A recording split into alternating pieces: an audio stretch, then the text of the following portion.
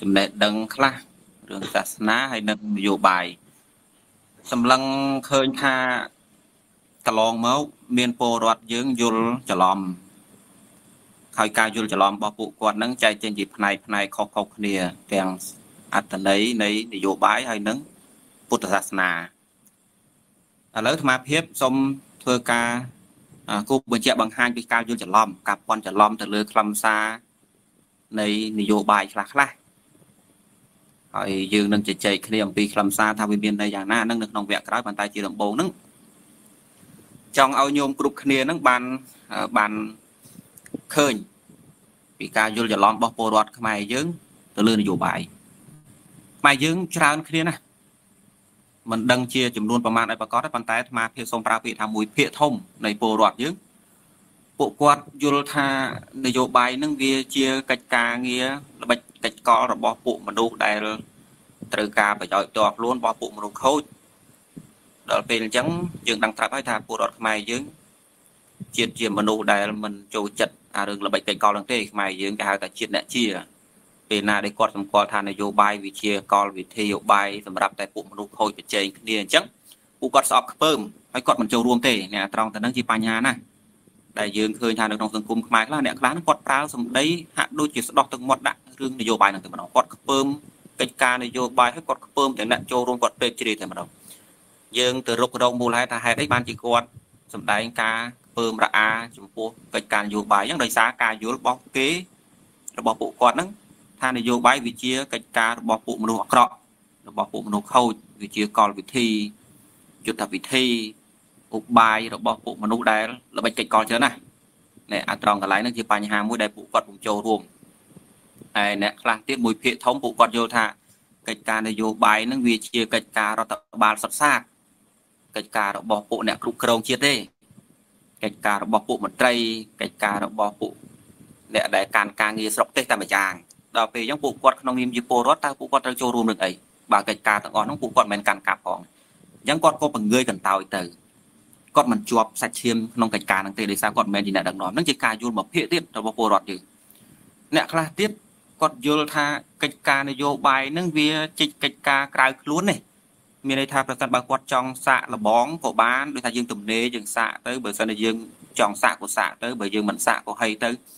ព្រោះហេតុតែគាត់យល់អញ្ចឹងបានជាគាត់កើតការពេបជ្រាយចំពោះអ្នកនយោបាយដែលគាត់ចូលទៅ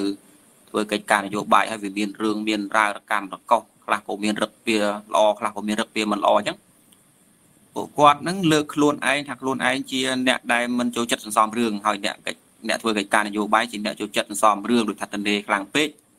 អត់មិនអត់យកខ្លួនទៅពាក់ព័ន្ធក្នុងរឿងហ្នឹងឲ្យមានរឿងនេះហើយពួកគាត់ជាអ្នកប្រសើរទៀតពួកគាត់មិនពាក់ព័ន្ធឯអ្នកខ្លះទៀតយល់ថាកិច្ចការនយោបាយនឹងវាជាកិច្ចការរបស់ពួកអ្នកដឹកនាំតែម្យ៉ាង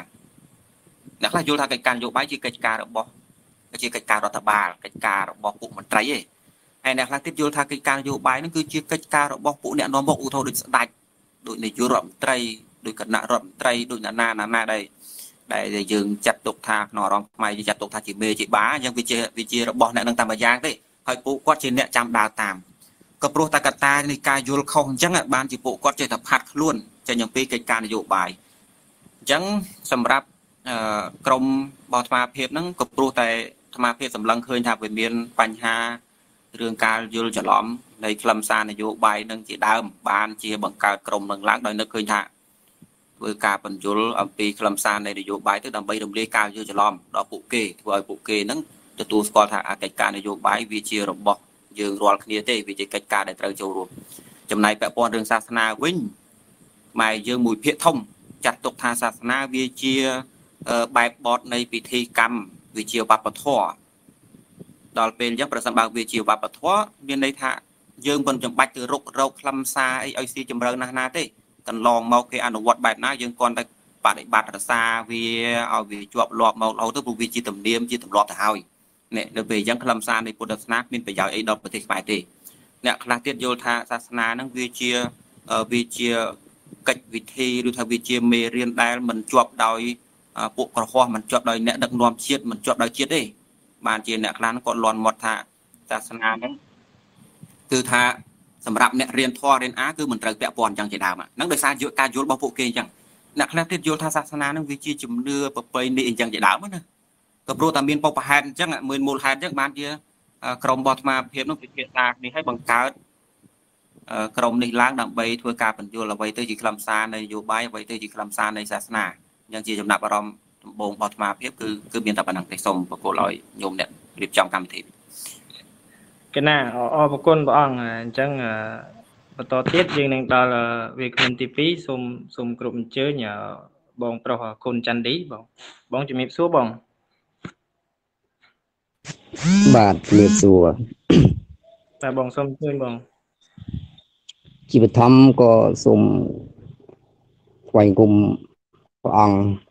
ដែលបានចូលរួមគ្រប់អង្គទាំងអស់ហើយកណាមិនសូវជាចេះប្រើភាសាសង្ឃសាស្ត្រទេហើយក៏សូមគោរពដល់បងប្អូនទាំងអស់ដែលបាន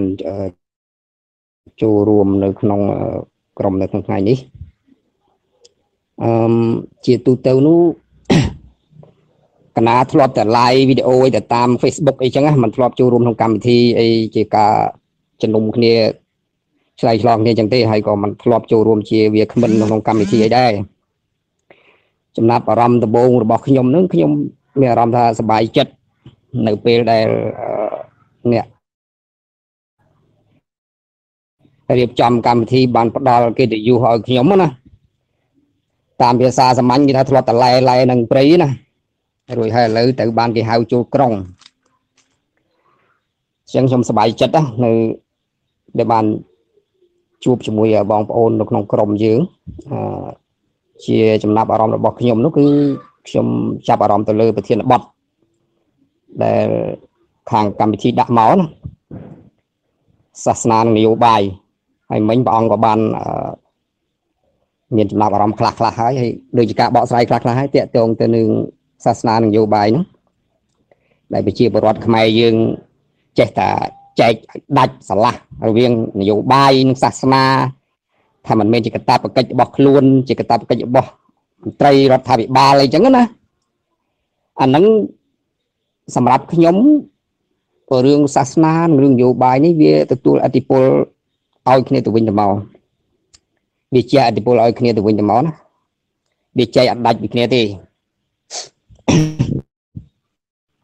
ធានបត់ហ្នឹង ធ្វើប៉ុន្តែលើកមកជាប់គ្នាអញ្ចឹងក៏ប៉ុន្តែនិយាយដូចដាច់នៃពីគ្នាតែវាជាអធិពលឲ្យគ្នាទៅវិញទៅមកបើសិនជានៅក្នុងសម័យអតីតកាលនោះជាទូទៅសាសនាគ្របដណ្ដប់លើនយោបាយបើយើងគិតអំពីប្រវត្តិសាស្ត្រដែលកន្លងមកណាតែសម័យបច្ចុប្បន្នយើងកុំគិតបច្ចុប្បន្នយើងគិតពីអតីតកាលត្រឹមសម័យសង្គមរាស្ត្រនិយមចុះមកហ្នឹងចាប់ផ្ដើមសាសនាលែងមានអធិពលលើនយោបាយនយោបាយមានអធិពលទៅលើសាសនា សម័យអតីតកាលសម័យអង្គរឬក៏សម័យក្រោយក្រោយអង្គរមកសាសនាមានអធិពលលើនយោបាយនេះអាការវិវត្តហ្នឹងអាការវិវត្តពីសាសនាមានអធិពលលើនយោបាយរួចហើយក្រោយមកនយោបាយមានអធិពលលើសាសនាហ្នឹងច្បុកច្បល់អាចច្បល់នោមហ្នឹងហើយធ្វើឲ្យប្រជាពលរដ្ឋខ្មែរយើងពេលខ្លះទៅទៅជាខ្លាចខ្លាចអារឿងការធ្វើនយោបាយហ្នឹង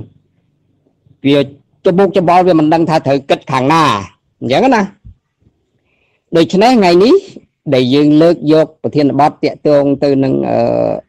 សាសនានយោបាយមកហ្នឹងបន្តិចទៀតចូលដល់វគ្គទី2អឺបដិជគុណរឹមចន្ទរាហើយនឹងវាគ្មិនម្នាក់ទៀតនោះហើយនឹងខ្ញុំនឹងនឹងធ្វើការបកស្រាយទៅលើខ្លឹមសារហើយនឹងអឺបន្ថែមនៅចំណុចខ្វះខាតផ្សេងផ្សេងដែលបងប្អូនមិនទាន់បានយល់ណាឲ្យបានយល់ឲ្យកាន់តែជ្រៅតាក់ទងទៅនឹងអតិពលសាសនានិងនយោបាយហ្នឹងខ្ញុំមានប៉ុណ្ណឹងចំណាប់អារម្មណ៍ដំបូង សូមជូនទៅអ្នកសម្រាប់រួលកម្មវិធីតបាទបាទអរគុណបងអរគុណច្រើនសម្រាប់ចំណាប់អារម្មណ៍ដំបូងហើយបន្ទាប់ទៀតសូមគោរពអញ្ជើញបងប្រុសហុកណាវីមានចំណាប់អារម្មណ៍បងអរគុណបាទជំរាបសួរបងបងបាទខ្ញុំមិនសូវចេះនិយាយទេ បងជាកិច្ចចាប់ដើមខ្ញុំគណៈខ្ញុំសូមគោរពថ្វាយបង្គំរាជគុណគ្រប់អង្គហើយនឹងសូមគោរពដល់អង្គកម្មវិធីទាំងមូលនៅក្នុងនោះក៏មានបងប្អូនទាំងអស់ដែលបានចូលរួមនៅថ្ងៃថ្ងៃហ្នឹងបងម្ចាស់កម្មវិធីគាត់បានបាទថាអញ្ជើញវាមិនត្រូវហៅហៅជាងមកទៅហៅមកមកនិយាយចឹងទៅហើយជាទូទៅមនុស្សខ្ញុំវាជាមិនសូវប្រកែកនិយាយផងព្រោះបានតាម Facebook បងប្អូនមួយចំនួនដែលបានសកខ្ញុំដឹងហើយថាបានតែសំណេរទេ បើឲ្យតែធ្វើជាសាច់ការអីមែនទេហ្នឹងវាគ្មានចំណេះដឹងអីច្រើនណាទេគោលបំណងមកដំបូងគឺមកស្ដាប់ណាដល់ខាងនេះកម្មវិធីក៏ថាឲ្យនិយាយក៏ចូលមកនិយាយទៅហើយខ្ញុំក៏ថ្លែងអំណរគុណដល់ម្ចាស់កម្មវិធី ដែលបានរៀបចំកម្មវិធីនឹងឡើងដើម្បីចែករំលែកនៅចំណេះដឹងពាក់ព័ន្ធទៅនឹងពុកអឺសាសនាហើយនឹងនយោបាយផងដែរ ចំពោះការរៀនសូត្រក៏ការចែករំលែកនៅចំណេះដឹងផ្សេងផ្សេងតាមខ្ញុំកណាផ្ទាល់ជាទូទៅគិតថា ការរៀនសូត្រវាគ្មានទីបញ្ចប់នោះទេ យើងរៀនច្រើនចេះច្រើនរៀនដល់ស្លាប់បើយើងនិយាយថាចេះអស់គឺមានត្រាស់ដឹងដូចពុទ្ធទី1ហើយបើនិយាយពាក់ព័ន្ធនឹងរឿងវិទ្យាសាស្ត្រវិញសំបីតែអ្នកវិទ្យាសាស្ត្រក៏បាននិយាយថាវិទ្យាសាស្ត្រគ្មានទីបញ្ចប់ដែរ ហើយបើនិយាយពាក់ព័ន្ធទៅនឹងមុខវិជ្ជាពាក់ព័ន្ធនឹងបណ្ឌិតអនុបណ្ឌិតវិញគ្រប់មុខវិជ្ជាទាំងអស់ក្នុងមុខវិជ្ជានីមួយៗក៏មិនមានការបែងចែកក៏កាន់ការកំណត់ណាមួយថារៀនចេះចប់ដែរឬក៏មានចំណុចខាងមិនខ្វះខាតនោះដែរដូច្នេះការសិក្សាការបញ្យលពាក់ព័ន្ធទៅនឹងពុទ្ធចក្រអាណាចក្របើនិយាយពីសាសនានិងនយោបាយជាទូទៅខ្មែរយើងហៅថាពុទ្ធចក្រនិងអាណាចក្រដូច្នេះការសិក្សាឬក៏ការប្រស្រ័យតាក់ទងទៅនឹងគ្នានឹងគ្នាទៅវិញទៅមកពាក់ព័ន្ធនឹងបញ្ហាអស់ហ្នឹង បើយើងរៀនទៅវាចេះនិយាយចឹងមកខ្លីៗមិនវិញពេកទេហើយចំណាប់ត្រមដំបងរបស់ខ្ញុំក៏អត់មានន័យត្រូវវិញឆ្ងាយព្រោះប្រជាជនក៏មានសន្តិការច្រើនហើយហើយបងប្រុសក៏បានរៀបរាប់បោះក្បាយហើយដែរបានសូមអរគុណវាប៉ុណ្ណឹងអរគុណបាទបាទអរគុណបងអរគុណច្រើនបាទអញ្ចឹងសូមអរគុណហើយវាគ្មិនយើងទាំង3ដែលបានថ្លែងចំណាប់អារម្មណ៍ដំបូង ហើយមុននឹងចូលទៅដល់ការបកស្រាយទៅលើធានបទយើងនៅយប់នេះខ្ញុំចង់រំលឹកបងប្អូនឡើងវិញថាបងប្អូនដែលចូលរួមយើងលក្ខខណ្ឌរបស់យើងយើងចុះឈ្មោះដើម្បីឲ្យយើងស្គាល់គ្នាដូចជាការណែនាំគ្នាដែរពីព្រោះឃើញថាបងប្អូនយើងច្រើន ចូលរួមហើយមិនមែននៅតែស្រុកខ្មែរយើងទេ នៅបរទេសក៏មានដែរនៅកូរ៉េខ្លះទៅនៅខាងអឺរ៉ុបខ្លះទៅ ហើយបើនៅក្នុងស្រុកខ្មែរយើងក៏មកពីខេត្តផ្សេងផ្សេងគ្នាអញ្ចឹងយើងអាចស្គាល់គ្នាតាមរយៈការចុះឈ្មោះនេះឯងហើយមួយទៀតអឺសូមតាំងរូបភាពពិតដើម្បីឲ្យយើងអាចស្គាល់គ្នាស្គាល់មុខគ្នាដែរទោះបីយើងឮសំឡេងមិនទាន់បានឃើញក្នុងវីដេអូអីក៏ដោយក៏ប៉ុន្តែយើងអាចឃើញរូបភាពយើងអាចស្គាល់គ្នាខ្លះខ្លះដែរអានឹងគឺជាលក្ខខណ្ឌទី2របស់យើងហើយទី3អឺចូលរួមមកយើងយើងបិទសំឡេង mute ដើម្បីកុំឲ្យមានការរំខានផ្សេងពេញពីសំឡេងមកខាងបងប្អូនទាំងអស់គ្នាចូលមកក្នុងកម្មវិធីហើយបន្ទាប់ទៀតយើងនឹងអឺចូលទៅដល់ការបកស្រាយនៅអឺធានបទរបស់យើង ថាសាសនានិងនយោបាយពីព្រោះ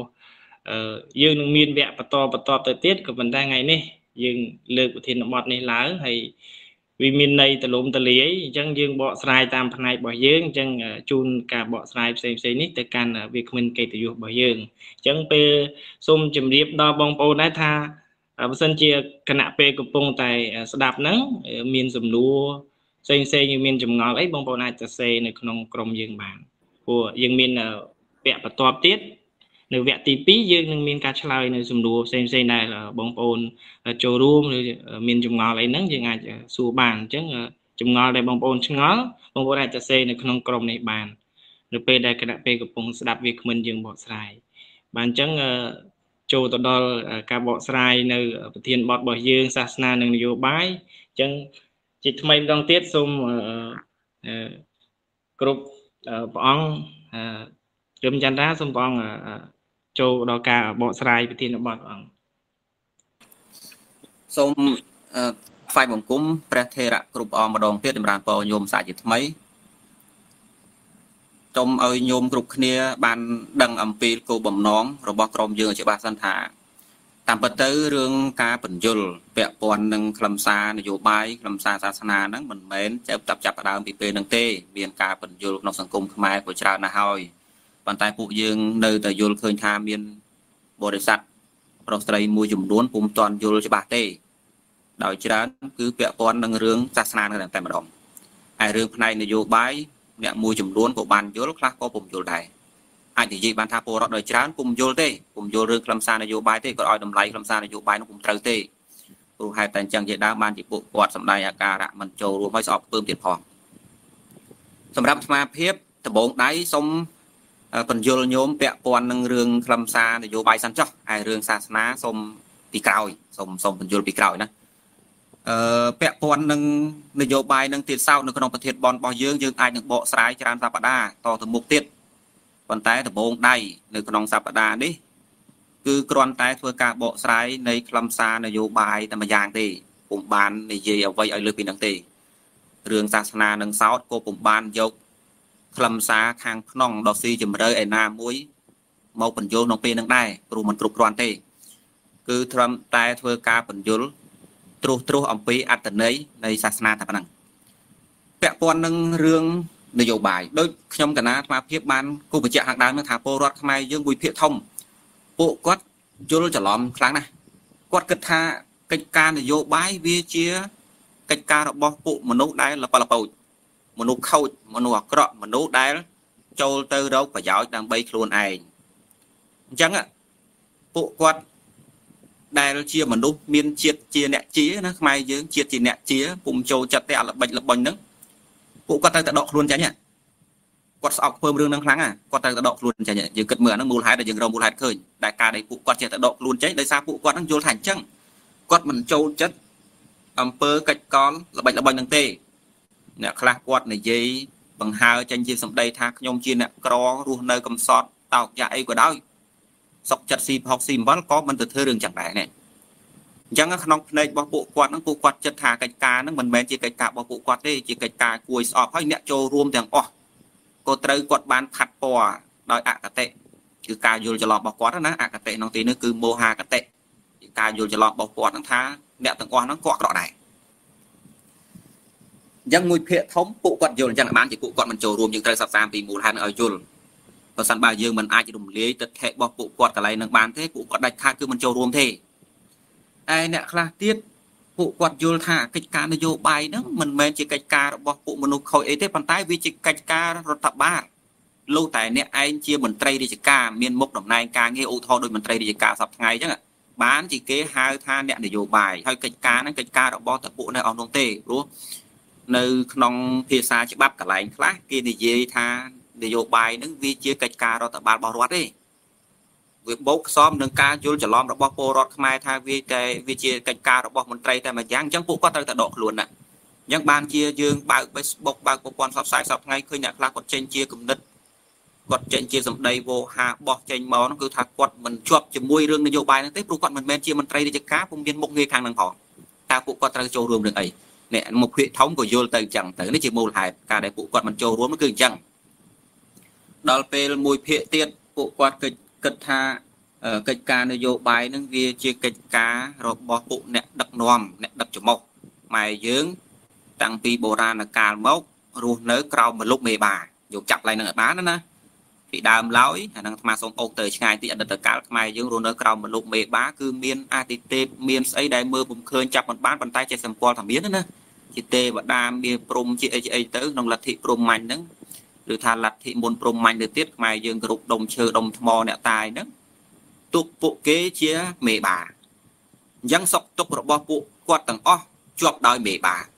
ត្រូវតែមេបានឹងដឹកមុខដឹកច្រមុះបានគាត់ដើរតាម នេះខ្មែរយើងរស់នៅយ៉ាងដល់ពេលក្រោយក្រោយមកទៀតអាមេបានឹងវាគ្រាន់តែដូររូបភាពទេដកអំពីអតិទេចេញវាធ្លាក់ដល់ស្ដាច់គឺស្ដាច់ជាអ្នកដឹកច្រមុះអបន្ទាប់អំពីស្ដាច់មកអាចថាវាចូលដល់មន្ត្រីចូលដល់វីរៈបរោះជាតិចូលដល់អ្នកណាដែលមានមុខមាត់ល្បីល្បាញអីចឹងជាដើមមកខ្មែរយើងរស់នៅក្រោមមលុបមេបាដូច្នេះគាត់សម្គាល់ថាមកដល់ពេលសប្តាហ៍ហ្នឹងក៏នៅតែសម្គាល់ថា រឿងកិច្ចការនយោបាយកិច្ចការជាតិហ្នឹងក៏ជាកិច្ចការរបស់មេបាដែរកិច្ចការរបស់នាយករដ្ឋមន្ត្រីអូកិច្ចការរបស់គណៈរដ្ឋមន្ត្រីអូកិច្ចការរបស់ស្ដេចអូនៅក្នុងវាំងពួកគាត់ពុំពាក់ព័ន្ធទេនឹងជាការយល់ដែលយើងរកឃើញថាពួកគាត់ពុំចូលរួមដោយសារអញ្ចឹងអញ្ចឹងខ្ញុំកណាចង់ធ្វើការបកស្រាយទៅលើខ្លឹមសារនៃនយោបាយហ្នឹងជា5បកស្រាយអឺ ឲ្យចេញជាខ្លឹមសារនយោបាយហ្នឹងពាក់ព័ន្ធនឹងអត្ថន័យ5 5យ៉ាងជាបើខ្ញុំកណានឹងលើកមកបកស្រាយណាបកស្រាយបែបបែប5វិធី5បែបសម្រាប់ញោមអ្នកស្ដាប់ប្រសិនបើរកឃើញថាការបកស្រាយនឹងពុំត្រឹមត្រូវទេយើងមានវគ្គទី2ដែរញោមចាប់ផ្ដើមបង្កើតជាសំណួរទៅសំណួរនឹងសោតវាជាសំណួរដែលសំដែងមតិយោបល់បន្ថែមក៏ដោយសំណួរសំដែងមតិជំទាស់ក៏ដោយប៉ុន្តែនៅក្នុងម៉ោងទី2អញ្ចឹងណា សម្រាប់ខ្ញុំកណាសូមបកស្រាយពាក្យថានយោបាយហ្នឹងទៅតាមភាសាស័ព្ទសិនហើយណាស់ក៏ត្រូវយល់ភាសាស័ព្ទដែរការបកស្រាយបែបភាសាស័ព្ទដបងដៃណាបើយើងយកភាសាស័ព្ទហ្នឹងមកបកស្រាយពាក្យថានយោបាយមកអំពីពាក្យពីរយ៉ាងទីមួយមកពីពាក្យថាឧបាយឧបាយខ្មែរយើងយើងនិយាយថាម៉េចបើយើងបរិយាយនិយាយសាប់ឧបាយមានថាវិធីក្បួន យុទ្ធសាស្ត្រយុទ្ធវិធីក្បួនដំណើរផ្លូវបើយើងនិយាយងាយងាយកុំឲ្យវែងឆ្ងាយពេកថាវិធីឬក្បួនហ្នឹងគេហៅថាឧបាយហើយដល់ពេលពាក្យថានយោបាយវាមកអំពីពាក្យមួយទៀតមកពីពាក្យថានយៈនយៈឬន័យហ្នឹងតើស្អីជានយៈឬន័យនយៈឬន័យបើនិយាយឲ្យចំគឺអ្វីដែលយើងត្រូវដោះស្រាយអ្វីដែលយើងត្រូវដោះស្រាយហ្នឹងគេហៅថានយៈអ្វីដែលយើងត្រូវដោះអ្វីដែលយើងត្រូវលុបត្រូវបំបត្តិវាហ្នឹងបើពលជាខ្មែរទៅគឺបញ្ហា អញ្ចឹងបើយើងបោកពាក្យទាំងពីរហ្នឹងអានេះពុំទាន់ពុំទាន់បកស្រាយជាអត្តន័យអីទេណាគ្រាន់តែគ្រាន់តែបកស្រាយបែបភាសាសាប់ទេថានយោបាយគឺវិធីដោះបញ្ហាឥឡូវបើយើងយកពាក្យប៉ុណ្ណឹងយកភាសាសាប់សាប់ប៉ុណ្ណឹងមកគិតនយោបាយជាវិធីដោះបញ្ហាសួរថាពលរដ្ឋខ្មែរយើងមានបញ្ហាទេគឺសិតតែមានបញ្ហាទាំងអស់អញ្ចឹងប្រសិនបើមានបញ្ហាទាំងអស់គ្មានវាមួយទេបញ្ហាវាផ្សេងផ្សេងគ្នា សួរថាតើយើងត្រូវតែមានឧបាយទេថាត្រូវតែមានឧបាយអញ្ចឹងប្រសិនបើយើងត្រូវតែមានឧបាយហើយយើងដោះស្រាយបញ្ហាសួរថាពួកគាត់ជាអ្នកនយោបាយអត់អាហ្នឹងបើយើងយកខ្លឹមសារបែបសាប់ណាអត្តន័យបែបភាសាសាប់មកបកស្រាយត្រួសត្រួសយើងសរុបបានថាមិនថាអ្នកណាឬអ្នកណាទេគ្រប់គ្នាសុទ្ធតែជាអ្នកនយោបាយប៉ុន្តែនយោបាយវាមានតម្រង់របស់វានយោបាយគ្រួសារនយោបាយឯកជនខ្ញុំរស់នៅជាបុគ្គលឯកជនដើម្បីដោះស្រាយជីវិតរបស់ខ្លួនឲ្យផុត អំពីក្តីទុក្ខរស់នៅចម្រើនដោយសុខត្រូវធ្វើយ៉ាងម៉េចអាហ្នឹងអាត្មាមិនបាច់រៀបរាប់ទេនយោបាយគ្រួសារយើងរស់នៅជាក្រុមមានទំនួលខុសត្រូវនឹងរឿងឪពុកម្ដាយប្រពន្ធកូនតើត្រូវចាត់ចែងយ៉ាងម៉េចមិនសិតតែមានវិធីសិតតែមានក្បួនដើម្បីយកខ្លួនឲ្យរួចខ្លួនប៉ុន្តែអ្វីដែលយើងពងនិយាយនៅក្នុងប្រធានបទមិនមែននយោបាយឯកជននយោបាយគ្រួសារទេគឺនយោបាយជាតិយើងនៅផ្ទះរួមគ្នាផ្ទះយើងរួមគ្នាប្រទេសមួយយើងយើងយើងនៅរួមគ្នាកាលណាប្រយោជន៍ ប្រយោជន៍នឹងវាជាប់ដោយគ្នាចាត់ទុកថារួមគ្នាហើយទោះដីយើងធំទលេប៉ុណ្ណាក៏ដោយតូចប៉ុណ្ណាក៏ដោយមិនមានលបងបោះព្រំដែនក៏ដោយប៉ុន្តែបើសិនបើអ្នកទាំងអស់នឹងរស់នៅទៅសាប់ថាវាជាប់ដោយប្រយោជន៍រួមគ្នាវាថាមកខាងលៀងមកខាងទៀតក៏លៀងបើមកខាងទៀតស្រួលមកខាងទៀតអាចនឹងស្រួលអានេះគេហៅថាជាប់ដោយប្រយោជន៍តែលោកខ្ញុំមិនយល់ណាអញ្ចឹងចាត់ទុកថាយើងនៅក្នុងប្រទេសតែមួយនៅក្នុងផ្ទះតែមួយតើយើងគួរតែ មានវិធីមានក្បួនដើម្បីដោះស្រាយទុករួមគ្នាទេប្រសិនបើទុករួមគ្នាកើតមានហើយក្បួន ឧបាយវិធីដែលយើងត្រូវតែយកទៅលុបបំបត្តិនៅទុកអញ្ចឹងតើយើងទាំងអស់នេះជាអ្នកនយោបាយអត់នេះបើគ្រាន់តែបកស្រាយតាមភាសាស័ព្ទហ្នឹងថាគ្មាននរណាមួយមិនមែនជាអ្នកនលោបាយដែលហើយទៅសំបីប្រសងលោកម្ចាស់ភិក្ខុសង្ឃរស់នៅក៏ជាប់ដោយសក់ទុកក្នុងប្រទេសដែរនៅក្នុងរដ្ឋធម្មនុញ្ញខ្មែរមិនថាអ្នកឯងជាភេទវណ្ណៈណាក៏ដោយទំនួលខុសត្រូវរបស់ពលរដ្ឋគឺរួមទាំងប្រសងផងរួមទាំងអ្នកកាន់សាសនាហិណ្ឌូអ៊ីស្លាមនៅក្នុងស្រុកខ្មែរនឹងផងបួសក្តីមិនបួសក្តីតបោះជាជាតិទាំងអស់ គ្រប់វ័យគ្រប់ភេទមានទំនួលខុសត្រូវក្នុងរឿងជាតិដូចគ្នានេះនៅក្នុងច្បាប់ខ្មែរអញ្ចឹងនយោបាយនឹងសុថាវានរណាមួយទេដែលខ្មែរយើងពីដើមឡើយយល់ថានយោបាយនឹងវាជាកិច្ចការរបស់មនុស្សមួយក្រុមមនុស្សខូចមនុស្សដែលជាអ្នកកាន់ការរដ្ឋតើការយល់នឹងត្រូវអត់ហើយការដែលពួកគាត់ចេះតែដកខ្លួនចេញដោយសារដោយសារការយល់អញ្ចឹងអញ្ចឹងខ្ញុំកណាគ្រាន់តែបកស្រាយតាមភាសាសាប់សិនទេថានយោបាយនឹងបើបកស្រាយតាមភាសាសាប់មានន័យថាវិធីដោះបញ្ហា នៅត្រង់កន្លែងនេះសូមឈោងសូមសូមភ្ជាប់ទៅខ្លឹមសារនៃសាសនាបន្តិចសិនព្រោះកម្មវិធីរបស់យើងហ្នឹងយើងបានយកប្រធានបទ2សាសនានិងនយោបាយមកកំបាញ់អត្តន័យឲ្យចូលគ្នាយើងសូមបញ្ជាក់បន្តិចថានៅក្នុងពុទ្ធសាសនាព្រះសម្ពុទ្ធដែលជាគ្រូនៅក្នុងសាសនារបស់យើងអាត្មាប្រើពាក្យហ្នឹងណាព្រោះទូញោមខ្លះមិនជ្រះថ្លានឹងពុទ្ធទេប៉ុន្តែសូមប្រើពាក្យហ្នឹងសិនថាព្រះពុទ្ធជាគ្រូនៃយើងព្រះអង្គជាអ្នកនយោបាយឬទេ អានោះបើយើងយកអត្តន័យមិញដែលអាត្មាបកស្រាយថាអូនយោបាយគឺវិធីដោះបញ្ហារបស់មនុស្សមិនមែនឆ្កែឆ្មាឯងពឹងផាត់ឆ្កែឆ្មាចោលនយោបាយគឺវិធីលុបឬថាដោះបញ្ហារបស់មនុស្សតើប្រសាមពុទ្ធជាដើមអំពីខុសងសម័យមុនពួកលោកជាអ្នកនយោបាយឬទេហ្នឹងបើយើងយកខ្លឹមសារហ្នឹងទៅគិតប្រសាមពុទ្ធព្រះអង្គឃើញថាអវិជ្ជាគឺជាបញ្ហាធំណាស់ មិនមែនរឿងបាយទឹកនំចំណីនឹងទេវាវាវាការពិតណាស់រឿងបាយទឹកនំចំណីដែលអ្នកស្រុករស់នៅខ្វះខាតក៏វាជាទុកដែរមិនមែនថាមិនទុកទេប៉ុន្តែបើព្រះអង្គយកជីវិតរបស់ព្រះអង្គខ្លួនតែមួយអាយុមិនដល់80នេះ80ឆ្នាំនេះទៅដោះស្រាយរឿងអ្នកស្រុកតើបានប្រមាណហើយពិភពលោកវាធំណាស់មានទាំងទេវតាមានព្រមផងតើព្រះអង្គជួយយ៉ាងម៉េចអញ្ចឹងព្រះអង្គឃើញថាប្រសិនបើមនុស្សអស់ល្ងងពីក្នុងថាយ៉ាងចុះអវិជ្ជានឹងទេនឹងសុកបូមយកតាំងពីល្ងងផងបើអស់តែពីល្ងងពីក្នុងទៅវាដោះស្រាយអាខាងក្រៅក៏បានដែរដូច្នេះប្រសានពុទ្ធបានដាក់ថា នេះដែលបញ្ហានេះនិយៈនៅក្នុងទីនេះគឺភាពល្ងងរបស់មនុស្សទេតើព្រះអង្គប្រើឧបាយយ៉ាងម៉េចដើម្បីដោះស្រាយភាពល្ងងរបស់មនុស្សគឺព្រះអង្គសម្ប្រើឧបាយដោយការសម្ដែងធម្មទេសនា45ឆ្នាំមិនដេកមិនពួនទេចែកពេលមិនឈប់មិនឈរហ្នឹងគឺដោះស្រាយរឿងហ្នឹងអញ្ចឹងបើយើងយកខ្លឹមសារទៅហ្នឹងឲ្យយើងយកខ្លឹមសារបែបសាប់ហ្នឹងទៅបកស្រាយសួរថាប្រពុតជាអ្នកនយោបាយឬទេពិខុសងជាអ្នកនយោបាយឬទេអ្នកបួសហើយហ្នឹងតើជាអ្នកនយោបាយឬទេ គឺជាអ្នកនយោបាយដែរប៉ុន្តែហើយចោះពាក់ព័ន្ធនឹងរឿងសាសនាពុំទាន់បោកស្រាយទេគ្រាន់តែឈោងទៅបន្តិចទេឥឡូវងាកមកខ្លឹមសារនយោបាយទី2នៅក្នុងការបកស្រាយបែបទី2នេះខ្ញុំកណាអាភិបចង់បកស្រាយពាក្យថានយោបាយនឹងតាមតម្លៃបកស្រាយការពារតម្លៃនយោបាយនយោបាយតាមពិតទៅជាកិច្ចការរបស់ពួកមនុស្សល្អនយោបាយណា ញោមអធិស្ឋានមានញោមម្នាក់ចូលបើកាមេរ៉ាញោមញោមចុចបិទកាមេរ៉ាញោមបិទកាមេរ៉ាបិទសំឡេងញោមញោមញោមប្រុសបិទកាមេរ៉ាបិទសំឡេងសិនអ្នកចូលក្រោយនឹងបើកាមេរ៉ាបងឈឿនចន្ទថាបងបងបិទកាមេរ៉ាហើយបិទ mute សំឡេងបងនឹងបិទបិទបិទសំឡេងបងខ្ញុំបិទកុំឲ្យកង់ហ្នឹងហើយបិទចុចកណ្ដាលហ្នឹងទៅបិទចុចកន្លែងពណ៌ខៀវហ្នឹងហើយ ឥឡូវចេះខ្ញុំអឺជាការបកស្រាយតាមន័យទី2គឺបកស្រាយតាមតម្លៃកិច្ចការនយោបាយវាមិនមែនជាការងាររកប្រយោជន៍ទេ មិនមែនជាការងាររកប្រយោជន៍ផ្ទាល់ខ្លួនទេប៉ុន្តែវាអាចជាការងាររកប្រយោជន៍រួមគ្នាខ្ញុំប្រាប់ពីនឹងឲ្យទាន់ណាបញ្ជាក់ឲ្យបញ្ជាក់ទៀតថាកិច្ចការនយោបាយមិនមែនជាកិច្ចការរកប្រយោជន៍ឯកជនផ្ទាល់ខ្លួនទេប៉ុន្តែវាអាចជាកិច្ចការរកប្រយោជន៍រួមគ្នា ទោះបីថាអ្នកចូលរួមក្នុងកិច្ចការនយោបាយនឹងជាមនុស្សសប្បុរសក៏ដោយមិនមែនសប្បុរសក៏ដោយ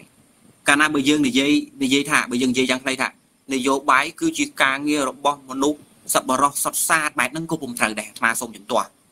ព្រោះហេតុអីមនុស្សពួកខ្លះមិនមែនជាសប្បុរសស្អីទេមានន័យថាមិនមែនជាអ្នកលះបង់ដើម្បីអ្នកដតីមិនមែនជាអ្នកអាណិតអាសូរសង្គ្រោះអីគេទេប៉ុន្តែពួកគាត់ជាពលរដ្ឋក្នុងប្រទេសនឹងដែរប្រយោជន៍របស់ពួកគាត់ដែរ ដូច្នេះការចូលរួមរបស់ពួកគាត់ណាប្រសិនបើកិច្ចការហ្នឹងប្រព្រឹត្តទៅដើម្បីប្រយោជន៍រួមគាត់ក៏ជាអ្នកនយោបាយដែរមិនមែនយើងដើរជ្រើសថាតតែអ្នកនងឯងរកឃើញថាពីក្នុងចិត្តឲ្យគេទាំងស្រុងបានហៅថាអ្នកនយោបាយក្រៅពីនឹងពលរដ្ឋធម្មតាមិនមែនជាអ្នកនយោបាយមិនមែនចឹងទេប៉ុន្តែសូមបញ្ជាក់ថា អ្នកដែលចូលទៅក្នុងកិច្ចការដើម្បីប្រយោជន៍តខ្លួននោះវាជាការរកស៊ីទេមិនមែនជានយោបាយឡើយ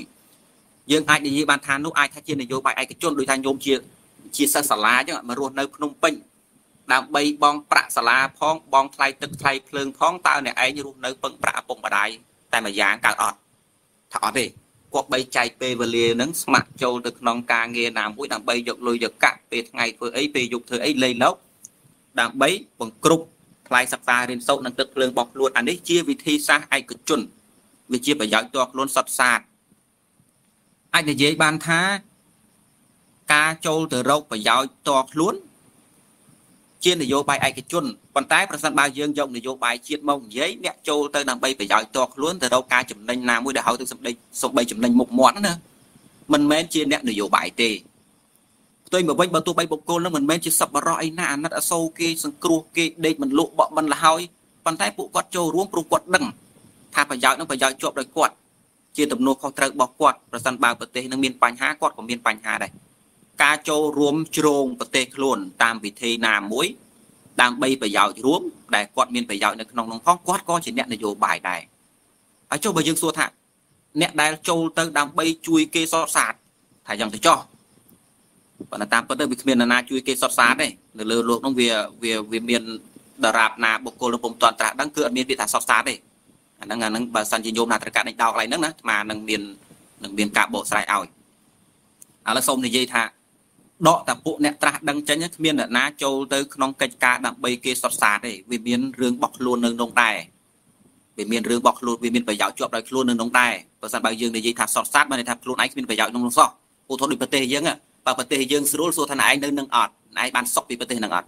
បើឯងនិយាយថាការចូលរួមរបស់ខ្ញុំដើម្បីគេសុតសាទៅចុះប្រយោជន៍ប្រទេសហ្នឹងឯងមិនទទួលទេឬយ៉ាងម៉េច អញ្ចឹងអាត្មាសូមប្រើពាក្យថាគ្មានទេរឿងសុតសាប៉ុន្តែដោយច្រើនសម្រាប់អ្នកដែលមានចិត្តល្អអ្នកលះបង់ដែលយើងធ្លាប់ឃើញកន្លងមកវីរៈបរិជាតិយើងក៏ធ្លាប់មានដែរពួកគាត់ធ្វើដើម្បីប្រយោជន៍គេដោយច្រើនលើសលុបពីគេពីឯងហត់នឿយជាងគេជាងឯងតើអ្នកនឹងជាអ្នកនយោបាយអត់បើសិនបើយើងដាក់ជាសំណួរសួរអញ្ចឹងយើងមិនបាច់ចាំទៅឆ្ងល់ទេទេគឺថាអ្នកនឹងជាកម្ពុជាអ្នកនយោបាយហើយព្រោះហាក់ដែលហើយទៅសម្បីថាពលរដ្ឋដែលចូលទៅដើម្បីប្រយោជន៍រួមពួកគាត់ក៏ជាអ្នកនយោបាយដែរ ប៉ុន្តែសូមការពារតម្លៃនៃកិច្ចការនយោបាយថាកិច្ចការនយោបាយគឺជាកិច្ចការដើម្បីប្រយោជន៍រួមមិនមែនដើម្បីប្រយោជន៍ឯកជនទេអាចថាជាកិច្ចការរបស់មនុស្សល្អយើងអាចនិយាយអញ្ចឹងណាព្រោះហេតុអញ្ចឹងណាសម្រាប់អត្តន័យនៃនយោបាយខ្លះដែលយើងធ្លាប់លើកន្លងមកថានយោបាយហ្នឹងគឺថាជានយោបាយគឺជាសិល្បៈធ្វើឲ្យបានសម្រេចគោលដៅណាអាត្មាគ្រាន់លើកមកបកស្រាយទេសម្រាប់ខ្លឹមសារកន្លែងហ្នឹងសម្រាប់ញោមយល់យ៉ាងណាមិនដឹងទេប៉ុន្តែអាត្មាមានមានការយល់ឃើញថា នៅត្រង់ខ្លឹមសារទៅហ្នឹងហាក់បីដូចជាខ្វះកន្លះខ្វះកន្លះយ៉ាងម៉េចឧទាហរណ៍ណាញោមញោមអាចដេញដោលខាងក្រោយបានណាសម្រាប់ពួកមនុស្សខូចខ្លះគាត់ចូលទៅក្នុងកិច្ចការនយោបាយហ្នឹងគាត់ចូលទៅដើម្បីប្រយោជន៍ខ្លួនសត្វសត្វប៉ុន្តែគាត់ប្រកែសម្ដែងណាមានសិល្បៈមានវិធីគឺថាគ្មាននរណាមួយមើលឃើញមានតែព្រះទេមើលឃើញមនុស្សភ្នែកធម្មតាមើលមិនយល់ទេដូចថាសឹងនិយាយបានថាមកខ្មែរមាននរណាមើលយល់ប៉ុន្តែអាចថាមានទេវតាមើលយល់ដល់ពេលយើងការចូលទៅរកប្រយោជន៍ផ្ទាល់ខ្លួនសតសានេះ ទាំងដែលមហាជនមើលមិនយល់នេះគឺគេចូលទៅដោយសិល្បៈវិធីរបស់ខ្លួនធ្វើយ៉ាងណាឲ្យបានសម្រេចគោលដៅនៅក្នុងស្រុកខ្មែរយើងអ្នកខ្លះមិនមែនជាអ្នកស្រឡាញ់ជាតិខ្មែរទេប៉ុន្តែចូលរួមសម្ដែងរឹកពៀគ្រប់យ៉ាងធ្វើយ៉ាងណាឲ្យខ្មែរយើងរលំរលាយឲ្យបែកបាក់ចូលទៅក្រុមណាសាងចំនួនក្រុមនឹងញុះញង់ក្រុមនឹងឲ្យខ្ទេចខ្ទីសួរថាទិសដៅរបស់ពួកគេគឺអ្វីទិសដៅពួកគេគឺធ្វើឲ្យខ្មែរយើងបែកបាក់ឲ្យខានតបានអញ្ចឹងអ្វីក៏ដោយ រូបភាពបែបណាក៏ដោយឲ្យតែគេធ្វើទឹកបានទិសដៅនឹងសម្រេចអញ្ចឹងជាសិល្បៈឲ្យសម្រេចគោលដៅហ្នឹងមែនទេមនុស្សខូចក៏មានសិល្បៈរបស់មនុស្សខូចមនុស្សអាក្រក់ក៏មានសិល្បៈរបស់មនុស្សអាក្រក់ធ្វើម៉េចឲ្យទៅទិសដៅរបស់ខ្លួនបានសម្រេចសម្រាប់អាត្មាមិនគួបចិត្តខ្លឹមសារនៃនយោបាយប៉ុណ្ណឹងទេអាត្មាសូមធ្វើការបកស្រាយនិយាយវិញថានយោបាយគឺជាវិធីដោះបញ្ហាដោះទុក្ខរបស់មនុស្សហើយតម្លៃនៃនយោបាយ នៅត្រង់ថាជាកិច្ចការរបស់ពួកមនុស្សល្អតែប៉ុណ្ណោះមិនមែនជាកិច្ចការរបស់ពួកអ្នករកប្រយោជន៍ផ្ទាល់ខ្លួនមិនមែនជាកិច្ចការរបស់ពួកមនុស្សខូចមិនមែនជាកិច្ចការរបស់ពួកមនុស្សអាក្រក់រាល់ក្បួនរាល់វិធីរាល់សិល្បៈឯណា ដែលធ្វើទៅដើម្បីសម្រេចប្រយោជន៍សម្រេចគោលដៅរបស់ខ្លួនប៉ុន្តែប្រសិនបើគោលដៅរបស់ខ្លួនហ្នឹងជាគោលដៅអាត្មានិយមឯកជនខ្លួនឯងជាគោលដៅដើម្បីរំលាយអ្នកដទៃជាគោលដៅអាក្រក់ទេមិនមែនជាអ្នកនយោបាយទេត្រូវខាត់ពួកនឹងចោលថាមិនមែនអ្នកនយោបាយទេ បើសិនបើយើងរាប់ពួកអ្នកនឹងថាជាអ្នកនយោបាយដែរពលរដ្ឋខ្មែរយើងស្អប់អ្នកនយោបាយនេះគឺត្រឹមត្រូវណាស់ព្រោះខ្មែរយើងជាជាអ្នកជាគាត់មិនស្អប់ពួកមនុស្សល្បីល្បាញទេអាចចូលទៅញុះញង់គេបែកបាក់គ្នានឹងតាមគោលដៅតាមសិល្បៈរបស់ខ្លួននោះណាខ្មែរយើងមិនចូលចិត្តអ្នកអញ្ចឹងទេការដែលគាត់ស្អប់អ្នកនយោបាយនឹងវាត្រឹមត្រូវណាស់ព្រោះបើសិនបាននយោបាយនឹងមានន័យថាអញ្ចឹងអញ្ចឹងជាការបកស្រាយដើម្បីរក្សាតម្លៃនយោបាយអាត្មាបកស្រាយថានយោបាយគឺជាកិច្ចការរបស់ពួកមនុស្សល្អ នយោបាយគឺជាកិច្ចការរបស់ពួកមនុស្សដែលធ្វើទៅដើម្បីប្រយោជន៍រួមទោះបីថាអ្នកនោះមិនមែនជាសប្បុរសក៏ដោយមកស្រុកខ្មែរយើងសប្បុរសប៉ុន្មានអ្នកញោមមានញោមណាហ៊ានកំណត់ថាខ្មែរយើងមានសប្បុរសប៉ុន្មានអ្នកដែរអាត្មាក៏មិនដឹងថាមានសប្បុរសប៉ុន្មានអ្នកប៉ុន្តែពលរដ្ឋខ្មែរយើងដែលកើតនៅក្នុងដែនដីខ្មែរយើងមានសញ្ជាតិជាខ្មែរពួកគេជាខ្មែរប្រសិនបើគេរកឃើញថាអីប្រយោជន៍ជាតិនឹងជាប់ដៃអញដែរតើអញសិក្សាទៅអញយល់ថាបើប្រទេសនឹងលៀងអញលៀងដែរ អញ្ចឹងការដែលគាត់ចូលរួមដើម្បីជ្រោមប្រទេសរបស់គាត់នេះទាំងដែលគាត់ទៅមិនមែនដើម្បីសង្គ្រោះដល់ណានាទេប៉ុន្តែដើម្បីជ្រោងប្រទេសរបស់គាត់ឲ្យស្រួលគាត់ស្រួលផងគាត់ក៏ជាអ្នកនយោបាយដែរមិនអាចផាត់ពួកគាត់បានទេតែបើរកឃើញថាអ្នកចូលទៅនឹងដើម្បីយកចំណេញច្បិចយកប្រយោជន៍ដើម្បីខ្លួនឯងតែម្យ៉ាងជាប្រយោជន៍ឯកជនអ្នកឯងមិនមែនជានយោបាយទេកុំបាច់ពោលដល់អ្នកចូលទៅដើម្បីរំលាយគេនឹងជាការបកស្រាយតាមន័យទី2ចំណុចទី3 អាត្មាសូមធ្វើការបកស្រាយតាមច្បាប់រដ្ឋធម្មនុញ្ញនៅក្នុងរដ្ឋធម្មនុញ្ញខ្មែរច្រើនច្រើនមាត្រាណាដែលគេបាននិយាយថាពលរដ្ឋខ្មែរមានកតបកិច្ចករណីយកិច្ចចំពោះជាតិមាតុភូមិរបស់ខ្លួនស្មើមុខគ្នាចំពោះមុខច្បាប់មិនវាអ្នកណាមួយឡើយហើយគេអាចនិយាយបរិយាយទៅថាពលរដ្ឋខ្មែរអាយុពីប៉ុណ្ណេះទៅចូលរួមបោះឆ្នោតអាយុពីប៉ុណ្ណេះទៅឈរឈ្មោះគេបោះឆ្នោតក៏បានឈរឈ្មោះជាមន្ត្រីគណៈរដ្ឋមន្ត្រីក៏បានឲ្យទៅបំពេញលក្ខខណ្ឌរបស់គេគ្រប់គ្រាន់សង្ឃដ្ឋានឡើងទៅជាស្ដេចក៏តបានដែរ ឲ្យតែមានលក្ខខណ្ឌគ្រប់គ្រាន់ត្រង់កន្លែងហ្នឹងជាដើមអាត្មាចង់អោសឲ្យពួកញោមគិតថានៅក្នុងច្បាប់ខ្មែរគេបែងចែងថាគេបានបានគេបានបែងចែកយ៉ាងច្បាស់លាស់ថាពលរដ្ឋខ្មែរទាំងអស់គឺជាអ្នកនយោបាយចង់និយាយថាអញ្ចឹងណាអញ្ចឹងប្រសិនបើយើងដកខ្លួនចេញពីអ្នកនយោបាយយើងថានយោបាយមានកិច្ចការរបស់យើងផងមិនន័យថាយើងប្រឆាំងជាមួយរដ្ឋធម្មនុញ្ញខ្មែរហើយបើអាត្មានិយាយចំអកចំអន់ទៅថាអ្នកឯងមិនសមរដ្ឋថាជាខ្មែរទេ ព្រោះជាពលរដ្ឋខ្មែរមានន័យថាអ្នកដែលរស់នៅក្រោមរដ្ឋធម្មនុញ្ញខ្មែរហើយអ្នកឯងជាយើងដកខ្លួនចេញពីរដ្ឋធម្មនុញ្ញខ្មែរយ៉ាងម៉េចនៅក្នុងរដ្ឋធម្មនុញ្ញខ្មែរខ្ញុំទៅមើលចុះអ្នករៀនច្បាប់ក្តីមិនរៀនច្បាប់ក្តីខ្ញុំទៅអានគេនិយាយថាកតាបកិច្ចករណីយកិច្ចរបស់ពលរដ្ឋនឹងជាកិច្ចការរបស់មនុស្សទាំងអស់ហើយនៅក្នុងកតាបកិច្ចករណីយកិច្ចហ្នឹងគឺពាក់ព័ន្ធនឹងរឿងកតាបកិច្ចកតាបកិច្ចករណីកិច្ចដើម្បីជាតិហ្នឹងយើងរាល់ពលរដ្ឋទាំងអស់នាយកអ្នកស្រុកអ្នកស្រែអ្នកចំការអ្នកតូចអ្នកធំអ្នកចាស់អ្នកក្មេងអ្នកបួសអ្នកមិនបួស អ្នករៀនធម៌មិនរៀនធម៌អប់រំចិត្តឬមិនអប់រំចិត្តទាំងដែររឿងកិច្ចការនយោបាយនេះគឺជាទំនួលរបស់អ្នកឯងទាំងអស់គេអាចនឹងផាត់អ្នកឯងចោលព្រោះហេតុគឺគេរកឃើញថាអ្នកឯងមិនមែនចូលរួមដើម្បីប្រយោជន៍រួមទេមិនមែនមកដើម្បីជួយគេទេគឺអ្នកឯងចូលមកដើម្បីបំបែកបំបាក់ឬប្រយោជន៍ទាល់ខ្លួនប៉ុណ្ណោះប៉ុន្តែអ្នកត្រូវដឹងថារឿងកិច្ចការនយោបាយនេះគឺជាកិច្ចការរបស់អ្នកឯងរដ្ឋធម្មនុញ្ញនឹងបានចែងសង្កត់មកចឹងញោមតន់ណា សម្រាប់ញោមណាដែលនៅតែមានអារម្មណ៍ថាអេរឿងនយោបាយនឹងមិនមែនជារបស់កណាទេញោមច្រឡំធំហើយនៅក្នុងច្បាប់ខ្មែរនយោបាយហ្នឹងគឺជារបស់ញោមណាប៉ុន្តែលក្ខណៈនៃរដ្ឋធម្មនុញ្ញលក្ខណៈនៃរដ្ឋធម្មនុញ្ញវាមានច្រើនតម្រង់មាត្រាខ្លះគេចែងមកគ្រាន់តែសុំស្នើផ្លូវចិត្តរបស់យើងទេมันមានมันមានអាចញាដាក់ដាក់បង្គាប់ទេដូចពាក់ព័ន្ធរឿងរដ្ឋធម្មនុញ្ញកន្លែងខ្លះគេនិយាយថាពលរដ្ឋខ្មែរត្រូវតែចិញ្ចឹមមេដាបៃតាឬថាកូននឹងត្រូវចិញ្ចឹមពុកម្ដាយឲ្យល្អអញ្ចឹងជាដើម អាត្រង់កន្លែងហ្នឹងក៏គ្មានថាចុះបើយើងមិនបានចិញ្ចឹមយកចិត្តទុកដាក់ឲ្យល្អទេវាខុសច្បាប់ទេថាអត់មានទេវាមានលក្ខណៈអញ្ចឹងជាដើមនៅត្រង់ករណីកិច្ចនិងកតាបកិច្ចហ្នឹងគេមិនបានគេមិនបានរករកមេត្រាណាមកដាក់គុកសម្រាប់អ្នកដែលមិនចូលរួមនយោបាយដែរវាអត់មានអញ្ញាប៉ុន្តែញោមត្រូវដឹងថាវាជាច្បាប់ដែលចែងមកឲ្យញោមគ្រប់គ្នាដែលជាពលរដ្ឋខ្មែរនយោបាយបើតាមខ្លឹមសារនៃរដ្ឋធម្មនុញ្ញហ្នឹងគឺជាកិច្ចការរបស់យើងទាំងអស់គ្នាកតាបកិច្ចករណីកិច្ចរបស់ញោមមិនវាណាណាមួយទេកុំច្រឡំលោកម្ចាស់ជាពិសេសអ្នកបួស កុំចេះតែយល់ថាខ្លួនឯងទៅរៀនធម៌អាហើយផុតពីកន្លែងហ្នឹងទៀតគ្រាន់តែថានៅក្នុងលក្ខខណ្ឌការចូលរួមយើងវាជាប់ដោយសិក្ខាបទរបស់ព្រះគួររក្សារឹកពីសំរុំមិនចូលទៅដើម្បីជេរបចោគេវាយទាត់ធាក់គេអញ្ចឹងដូចថាយើងទៅច្បាំងទៅអីអញ្ចឹងមិនមែនទេប្រសិនបើយើងថាខ្ញុំត្រូវតែធ្វើអញ្ចឹងខណ្ឌមិនបានទេគួរសឹកទៅវិញដើម្បីរក្សារក្សា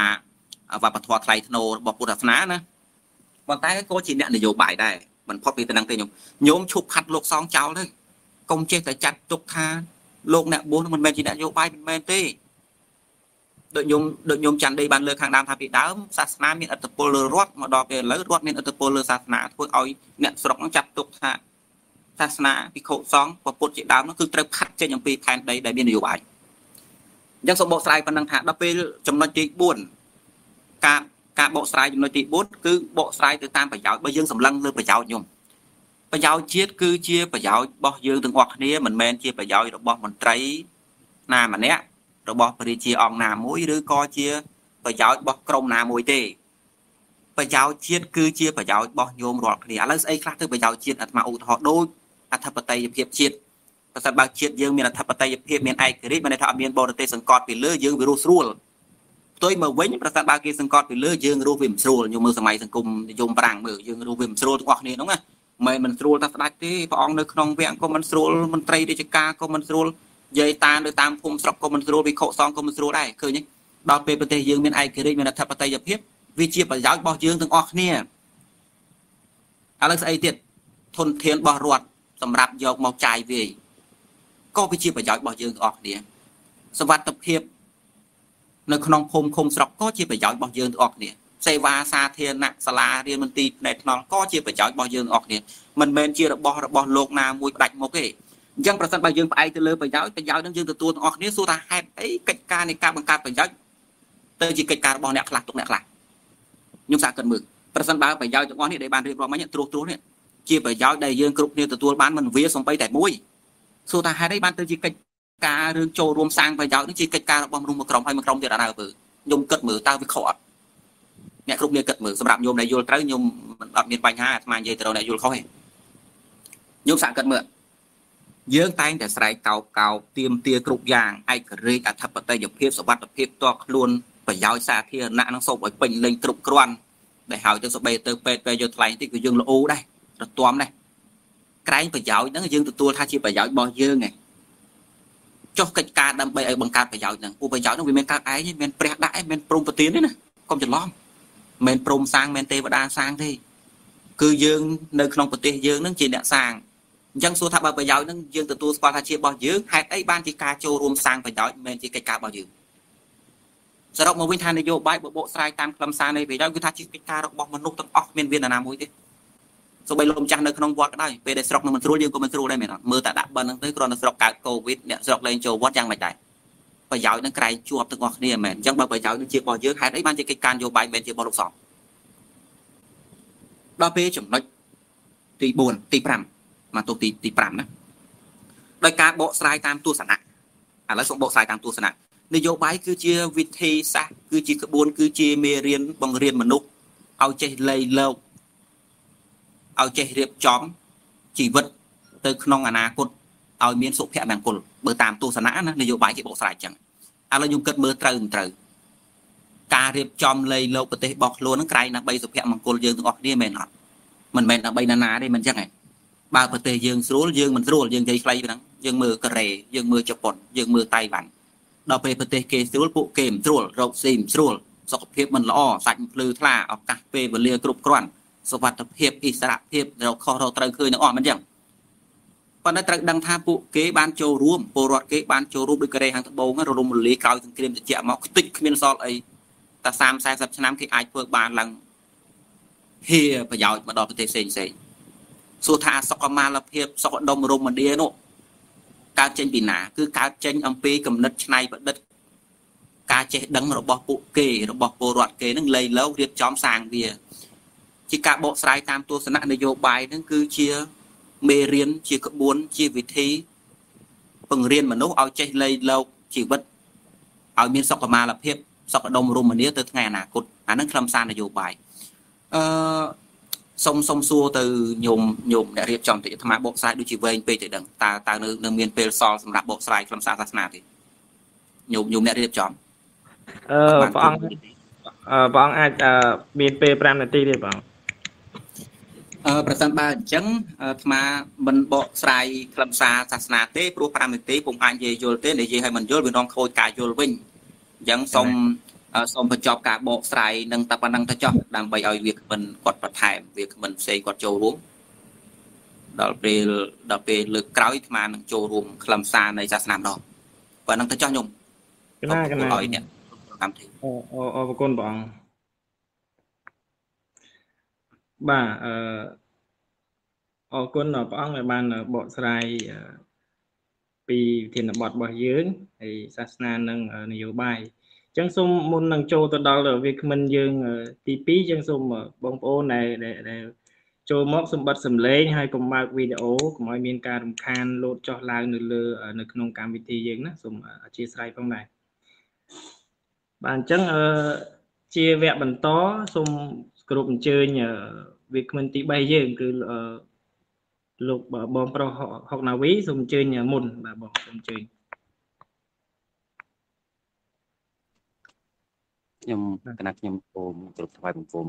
ប្រជាជននិងបងប្អូនទាំងអស់ក្នុងកម្មវិធីសាជាថ្មីម្ដងទៀត